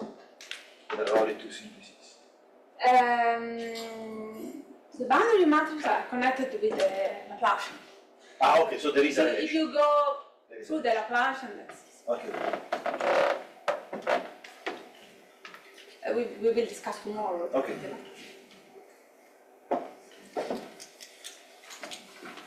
So le- let me just, uh, yeah, so let me just completely answer your question. So the graph Laplacian, which as you know is the diagonal matrix of the degree minus the adjacency matrix, okay, is equal to to this. Okay? So you, you should be able to. So you, you do this operation, you remove the diagonal part, you invert, you. You, you put the minus in front, sorry, don't invert. Okay? Okay, but actually here there is more because you can do the Hodge Laplacian, so you can go and do this operation not only for iron.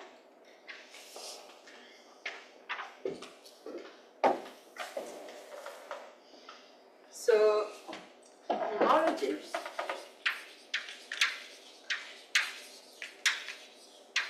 So we, define, until now we define the chain, which are linear combination of M simplices. Now we want to define cochain, M cochain. So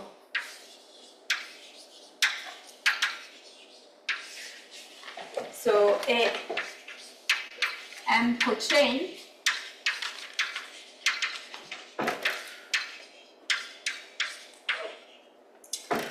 is a linear function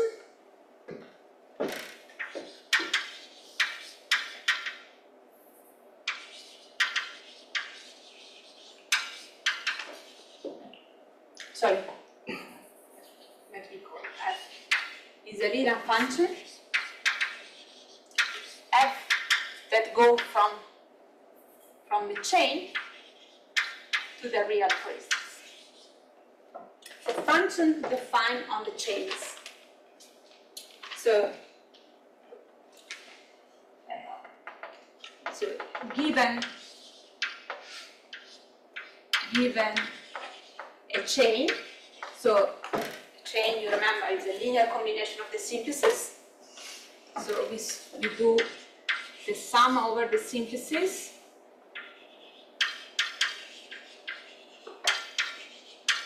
With coefficient in, in the integer. Okay?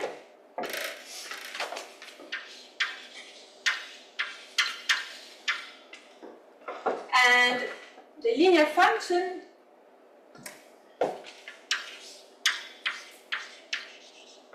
is specified when we specify the action in each simplex. So the linear function is clearly through linearity, you do the sum over all the simplices. The coefficient remains the same, but then you have instead of the simplex, you have the function acting on the simplex. So practically, a M cochain is defined by a vector, which is the function defined on each positively oriented simplex. Okay? So the, the function defined on each simplex allows you to define the function defined on any M chain. So example.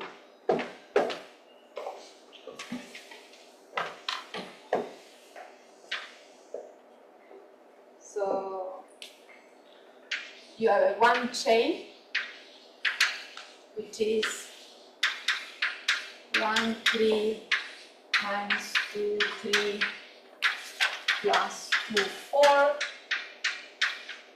You can take that example that was there, and then you define f of a. Will be the function on one three minus the function on two three plus the function on two four. Okay? So it's enough that you specify the function on the basis. And one important property is that this function is linear. So this is a not function of the simplex, right? So the simplex you can change the orientation. So since f is linear, I have the function on 1, 3 will be minus the function on minus 1, 3. Or minus the function on 3. Okay, so the function is odd. And this is the function that describes the flux. This is the, the flux on, on the limbs, okay? So you, if you have, you, if you go from one to three, you define the flux as positive. The flux defined on, and this is minus the flux defined on, on three one.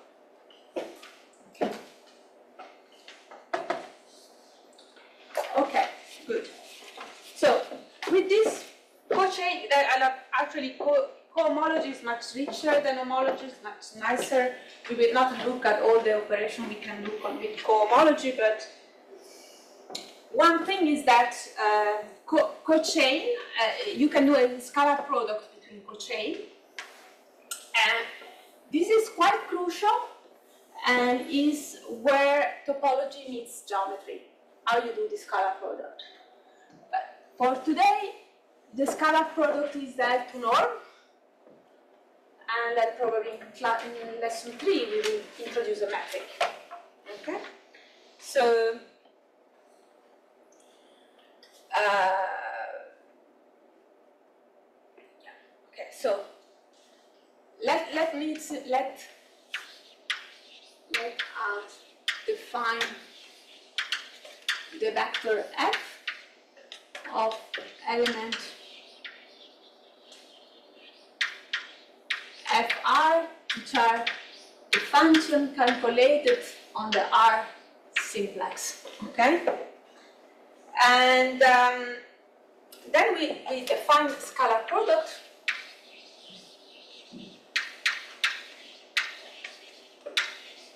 between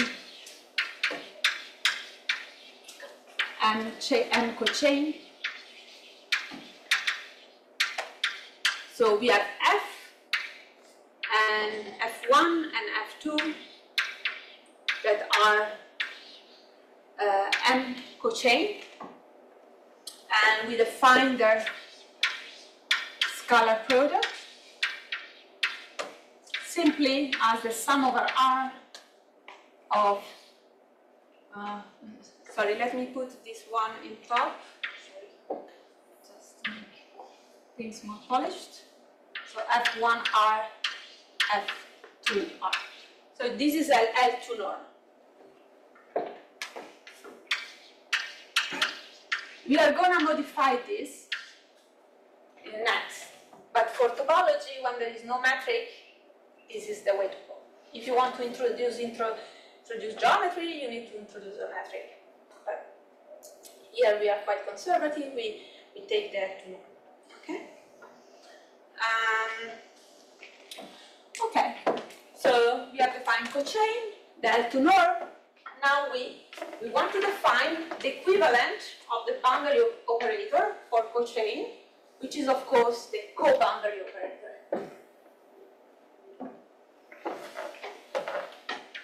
Co-boundary.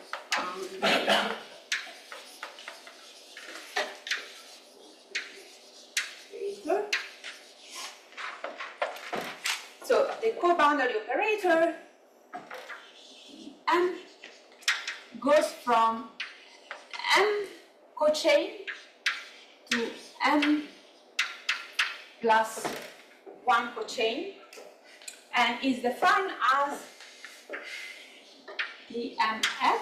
So it acts on the M cochain and it generates M one cochain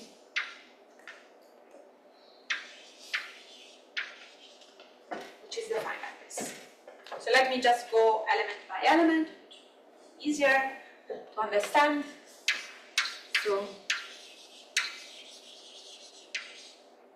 so I have this uh, cochain.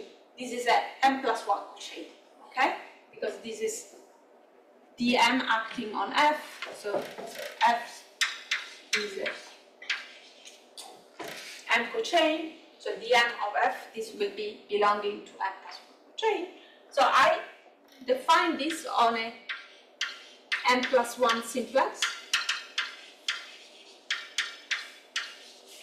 Okay. So the action of this function, uh, this cochain on, on this m plus one int will be this operation here which I write element by element.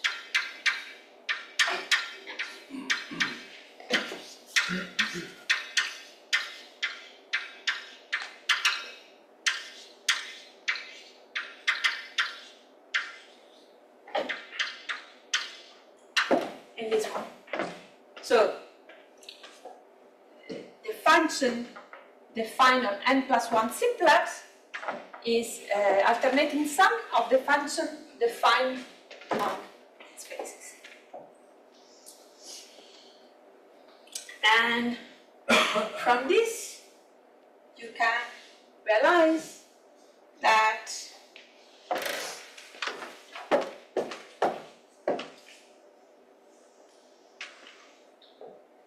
these coefficients are the same but transposed respect to the coefficient of the boundary operator.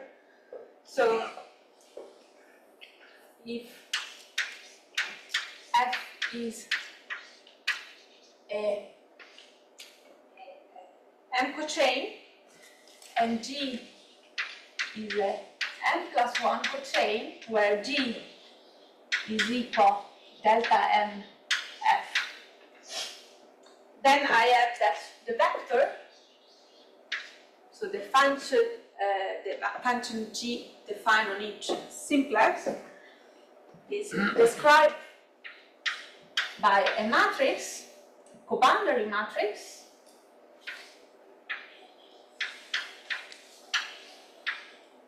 and this co-boundary matrix is nothing else, so this is the definition, and the co-boundary matrix is nothing else than the boundary transpose. This is because practically these coefficients in front are just the same as the, uh, the are the transpose coefficient with respect to the to the boundary. Okay? So of course you have then delta n plus one delta n equal to zero and this of course trans traduced into something we have already seen that if I have the concatenation between this boundary operator transpose it is zero. Is the other picture of the boundary of the boundary.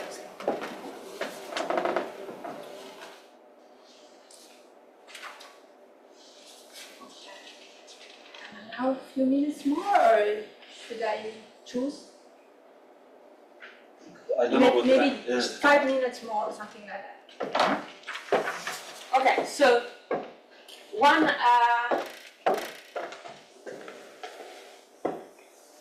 one uh, important example of the co-boundary operator is the gradient. So gradient. So this is delta zero. So uh, it goes from zero cochain to one cochain. So if f is a zero cochain, so a function defined on the node, g is a one cochain, so the function defined on the edge, and g is delta zero f, then according to that formula, my g on Rs, the function, the, the one cochain calculate on the edge is equal to the function f calculate on the second times the function s calculate on the first. That's the gradient. And the curl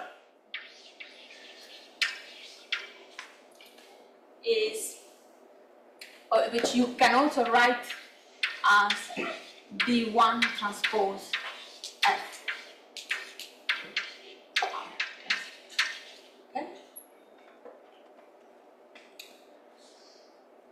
Um,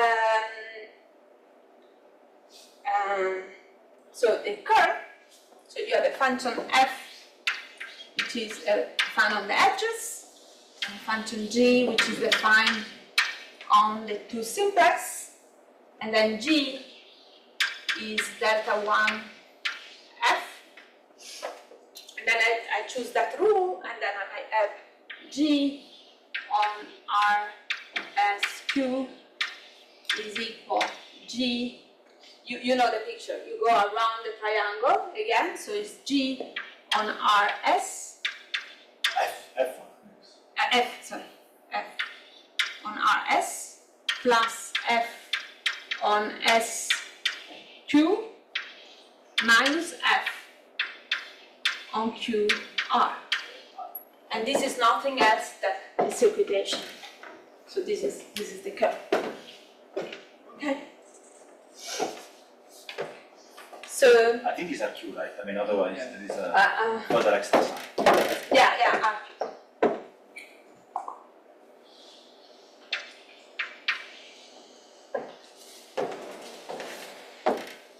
Okay, so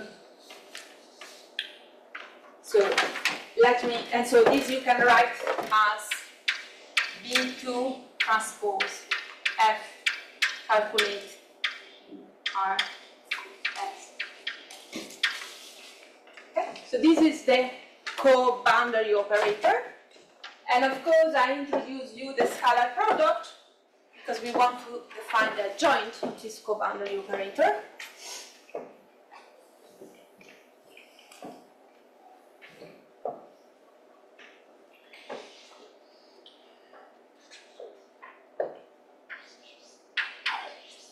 adjoint of the co-boundary operator. This is as delta m asterisk, which goes from c plus 1, m plus 1 cochain to m cochain. And how do you define this adjoint? Through the scalar product. So you must have that if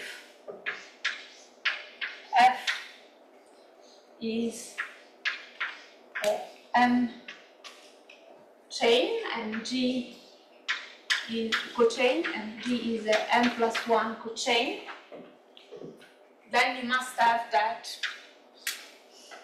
g.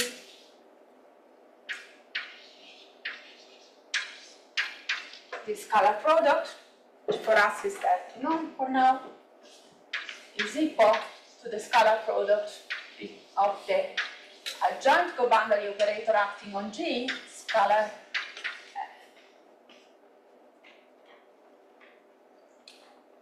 And if you do that, you know, you in terms of vector and matrices, this scalar product is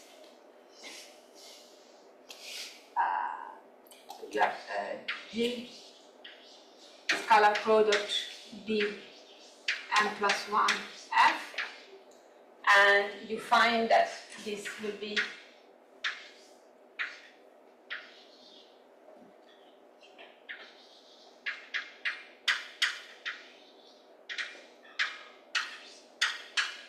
So the adjoint operator is the transpose of, uh, so, sorry, sorry, this is, let's say that this is, uh, so this is, this is the co-boundary operator, so in terms of the boundary operator is the transpose. So, uh, so practically G, the vector, um,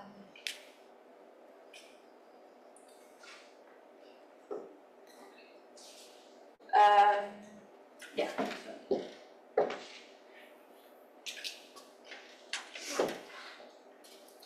Okay, so uh, let's conclude with the divergence. Divergence is the adjoint of the gradient.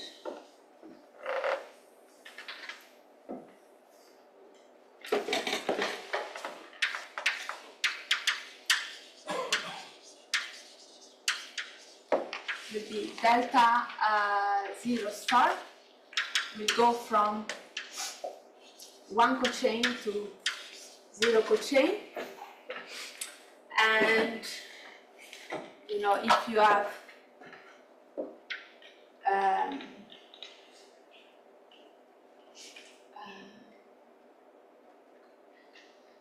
if you have uh, a function uh, f defined as a cochain and G is a one cochain. You have that um, and G. Sorry, I'm, I'm, I'm a little bit hurrying. So you have one cochain and G is zero cochain, and G is the gradient of f, then you have that the, the vector describing G is in the L1 norm is the, is the boundary operator. Okay. So the boundary matrix practically can, when you have the L2 norm, represent the adjoint of the co-boundary operator and uh, when you have the L2 norm, the, the, the boundary matrix transpose will represent the co-boundary. So this concludes uh, the lesson today. So the take home would be to uh, you know understand a little bit about basic concept about homology and cohomology. And, and the important take home message is that the boundary operators are fundamentally important. They are related to these uh, Betti numbers, as we will discuss also tomorrow. And um, important way is how to construct this boundary operator, you know, in, in, in practice if you want to realize that. And, uh, and um, yeah, and, and, and, and what- that they represent the discrete serial algebra. So you can do gradient, curl, and divergence in this way. Okay? So tomorrow we will do Hodge Laplacian, so diffusion using this boundary operator, and the Dirac operator, which is the square root of the Laplacian. You will like it. Thank you so much. Thank you, Ginestra.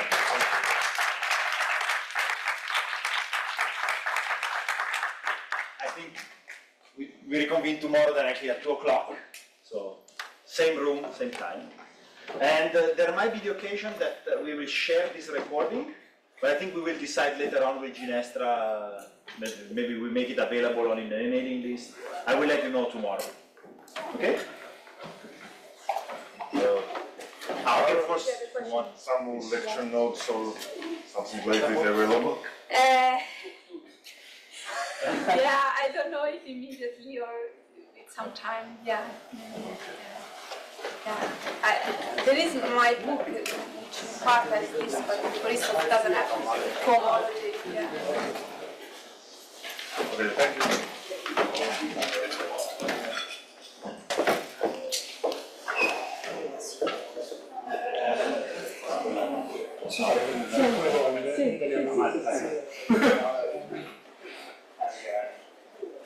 un paio di cose da Questa qua eh, è un'espressione per definire la loro espressione diciamo vettoriale, quindi delle algebre, funzione quindi espressa sulla base che sarebbero i simplessi n dimensionali del nostro complesso simpliciale. Sì, Ok. positivo. C'è un motivo per cui Yette non è espressa anche lei con la base sopra? Sì, sì, sì, no, è anche lei con la Ok, anche lei quindi c'è una espressione vettoriale.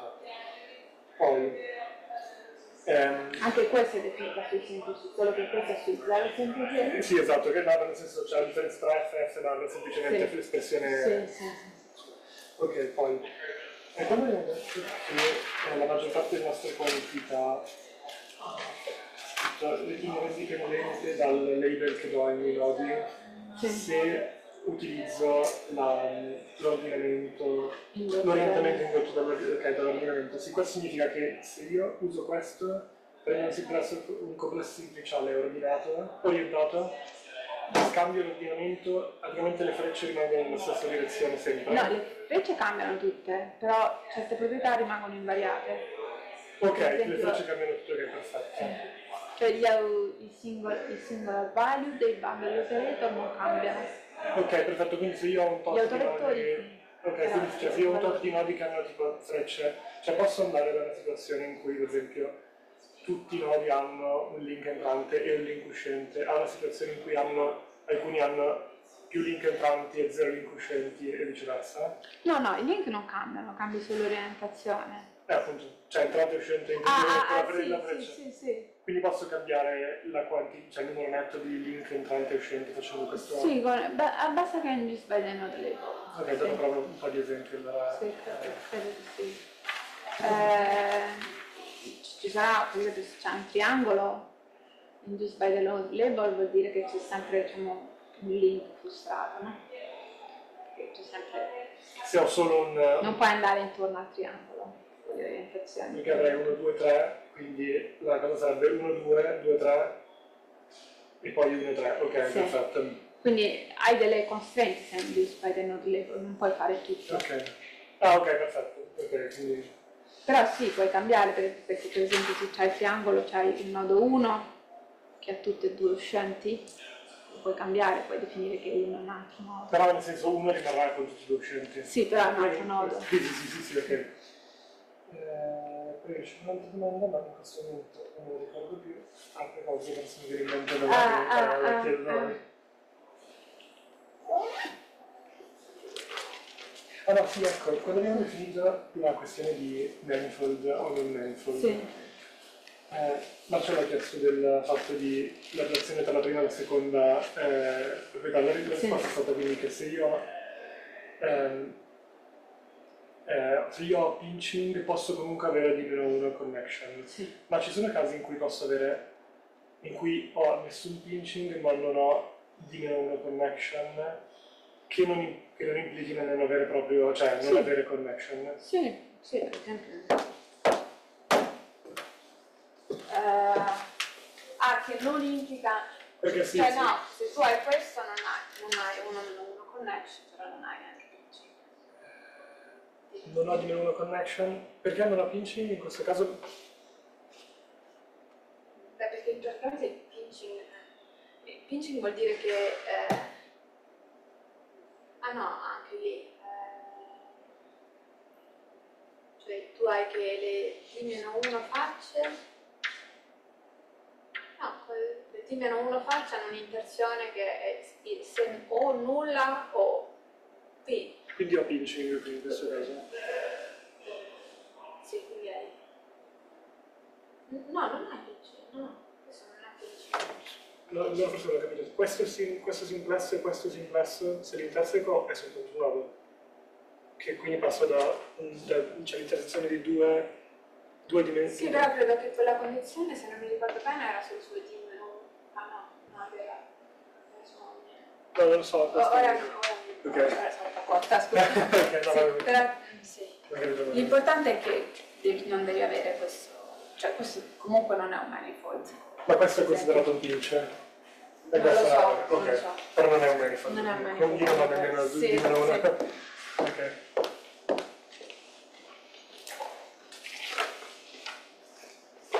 Grazie. Scusi, le posso chiedere, eh, per piacere sono Giulia. Ah, ah. Eh, lei ha, ha- tempo 5 minuti? Sì. No. Ha mai lavorato con omologia della magnitudo? Che è una teoria omologica per grafi? Ah, no. Eh, ah, ok. No, eh, no, niente, vabbè, le volevo chiedere. Io adesso sto, sto facendo il dottorato, sto lavorando in questa omologia e stavo Ah. cercando di capire che informazioni dava del grafo se poteva essere utile da usare per Ah, un'analisi è di, di reti. Eh. Vabbè, ma allora magari se si ferma due settimane Sì, a tempo... possiamo sì. parlarne, Mm, sì, sì, volentieri, sì, sì, grazie. va bene. Allora magari le mando una Tu dove sei? Dove lavori? All'università Trieste, Ah, qua, ah, sì, ah, sì, sì. Ehm, Sì, sì, sì, va bene. Grazie. sì, va bene, se vieni domani comunque Sì, sì, sì. parlare. Ok, ok, va bene, grazie. Eh, non so se era troppo confusionario. No, anche perché? io ho fatto i fisici così. No, vabbè, ma cioè, Vabbè. super chiaro. Ah, sì, sì, sì. Grazie. Ciao, arrivederci.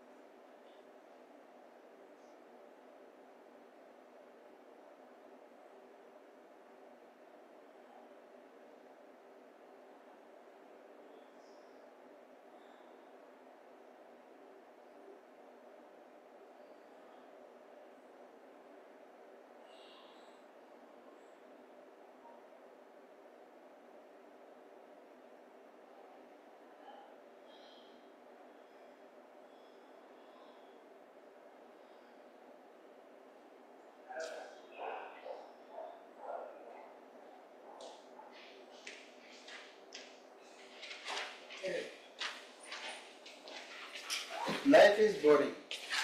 Okay, alright. This problem, what's about? I think me now my plan is now to try to. I will try before. I will try before to. You can take forget, forget about homework seven, eight. But according to the thing you were saying, I think I, I have to complete them. You have to complete, it's a nice idea. I will I complete think if. I completed all of them, I think it's, it's, much, it's much better. Yeah. If I complete on them, If, can if you see- get, uh, got less marks in uh, I final, so forget about. You know, I don't want. I, I need to. I want to forget about the, midterm. yes, your midterm is not okay. It's not.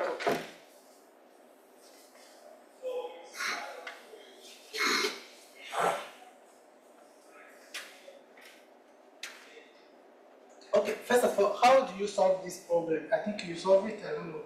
If I have weak convergence, have weak convergence. Okay, if I have weak convergence,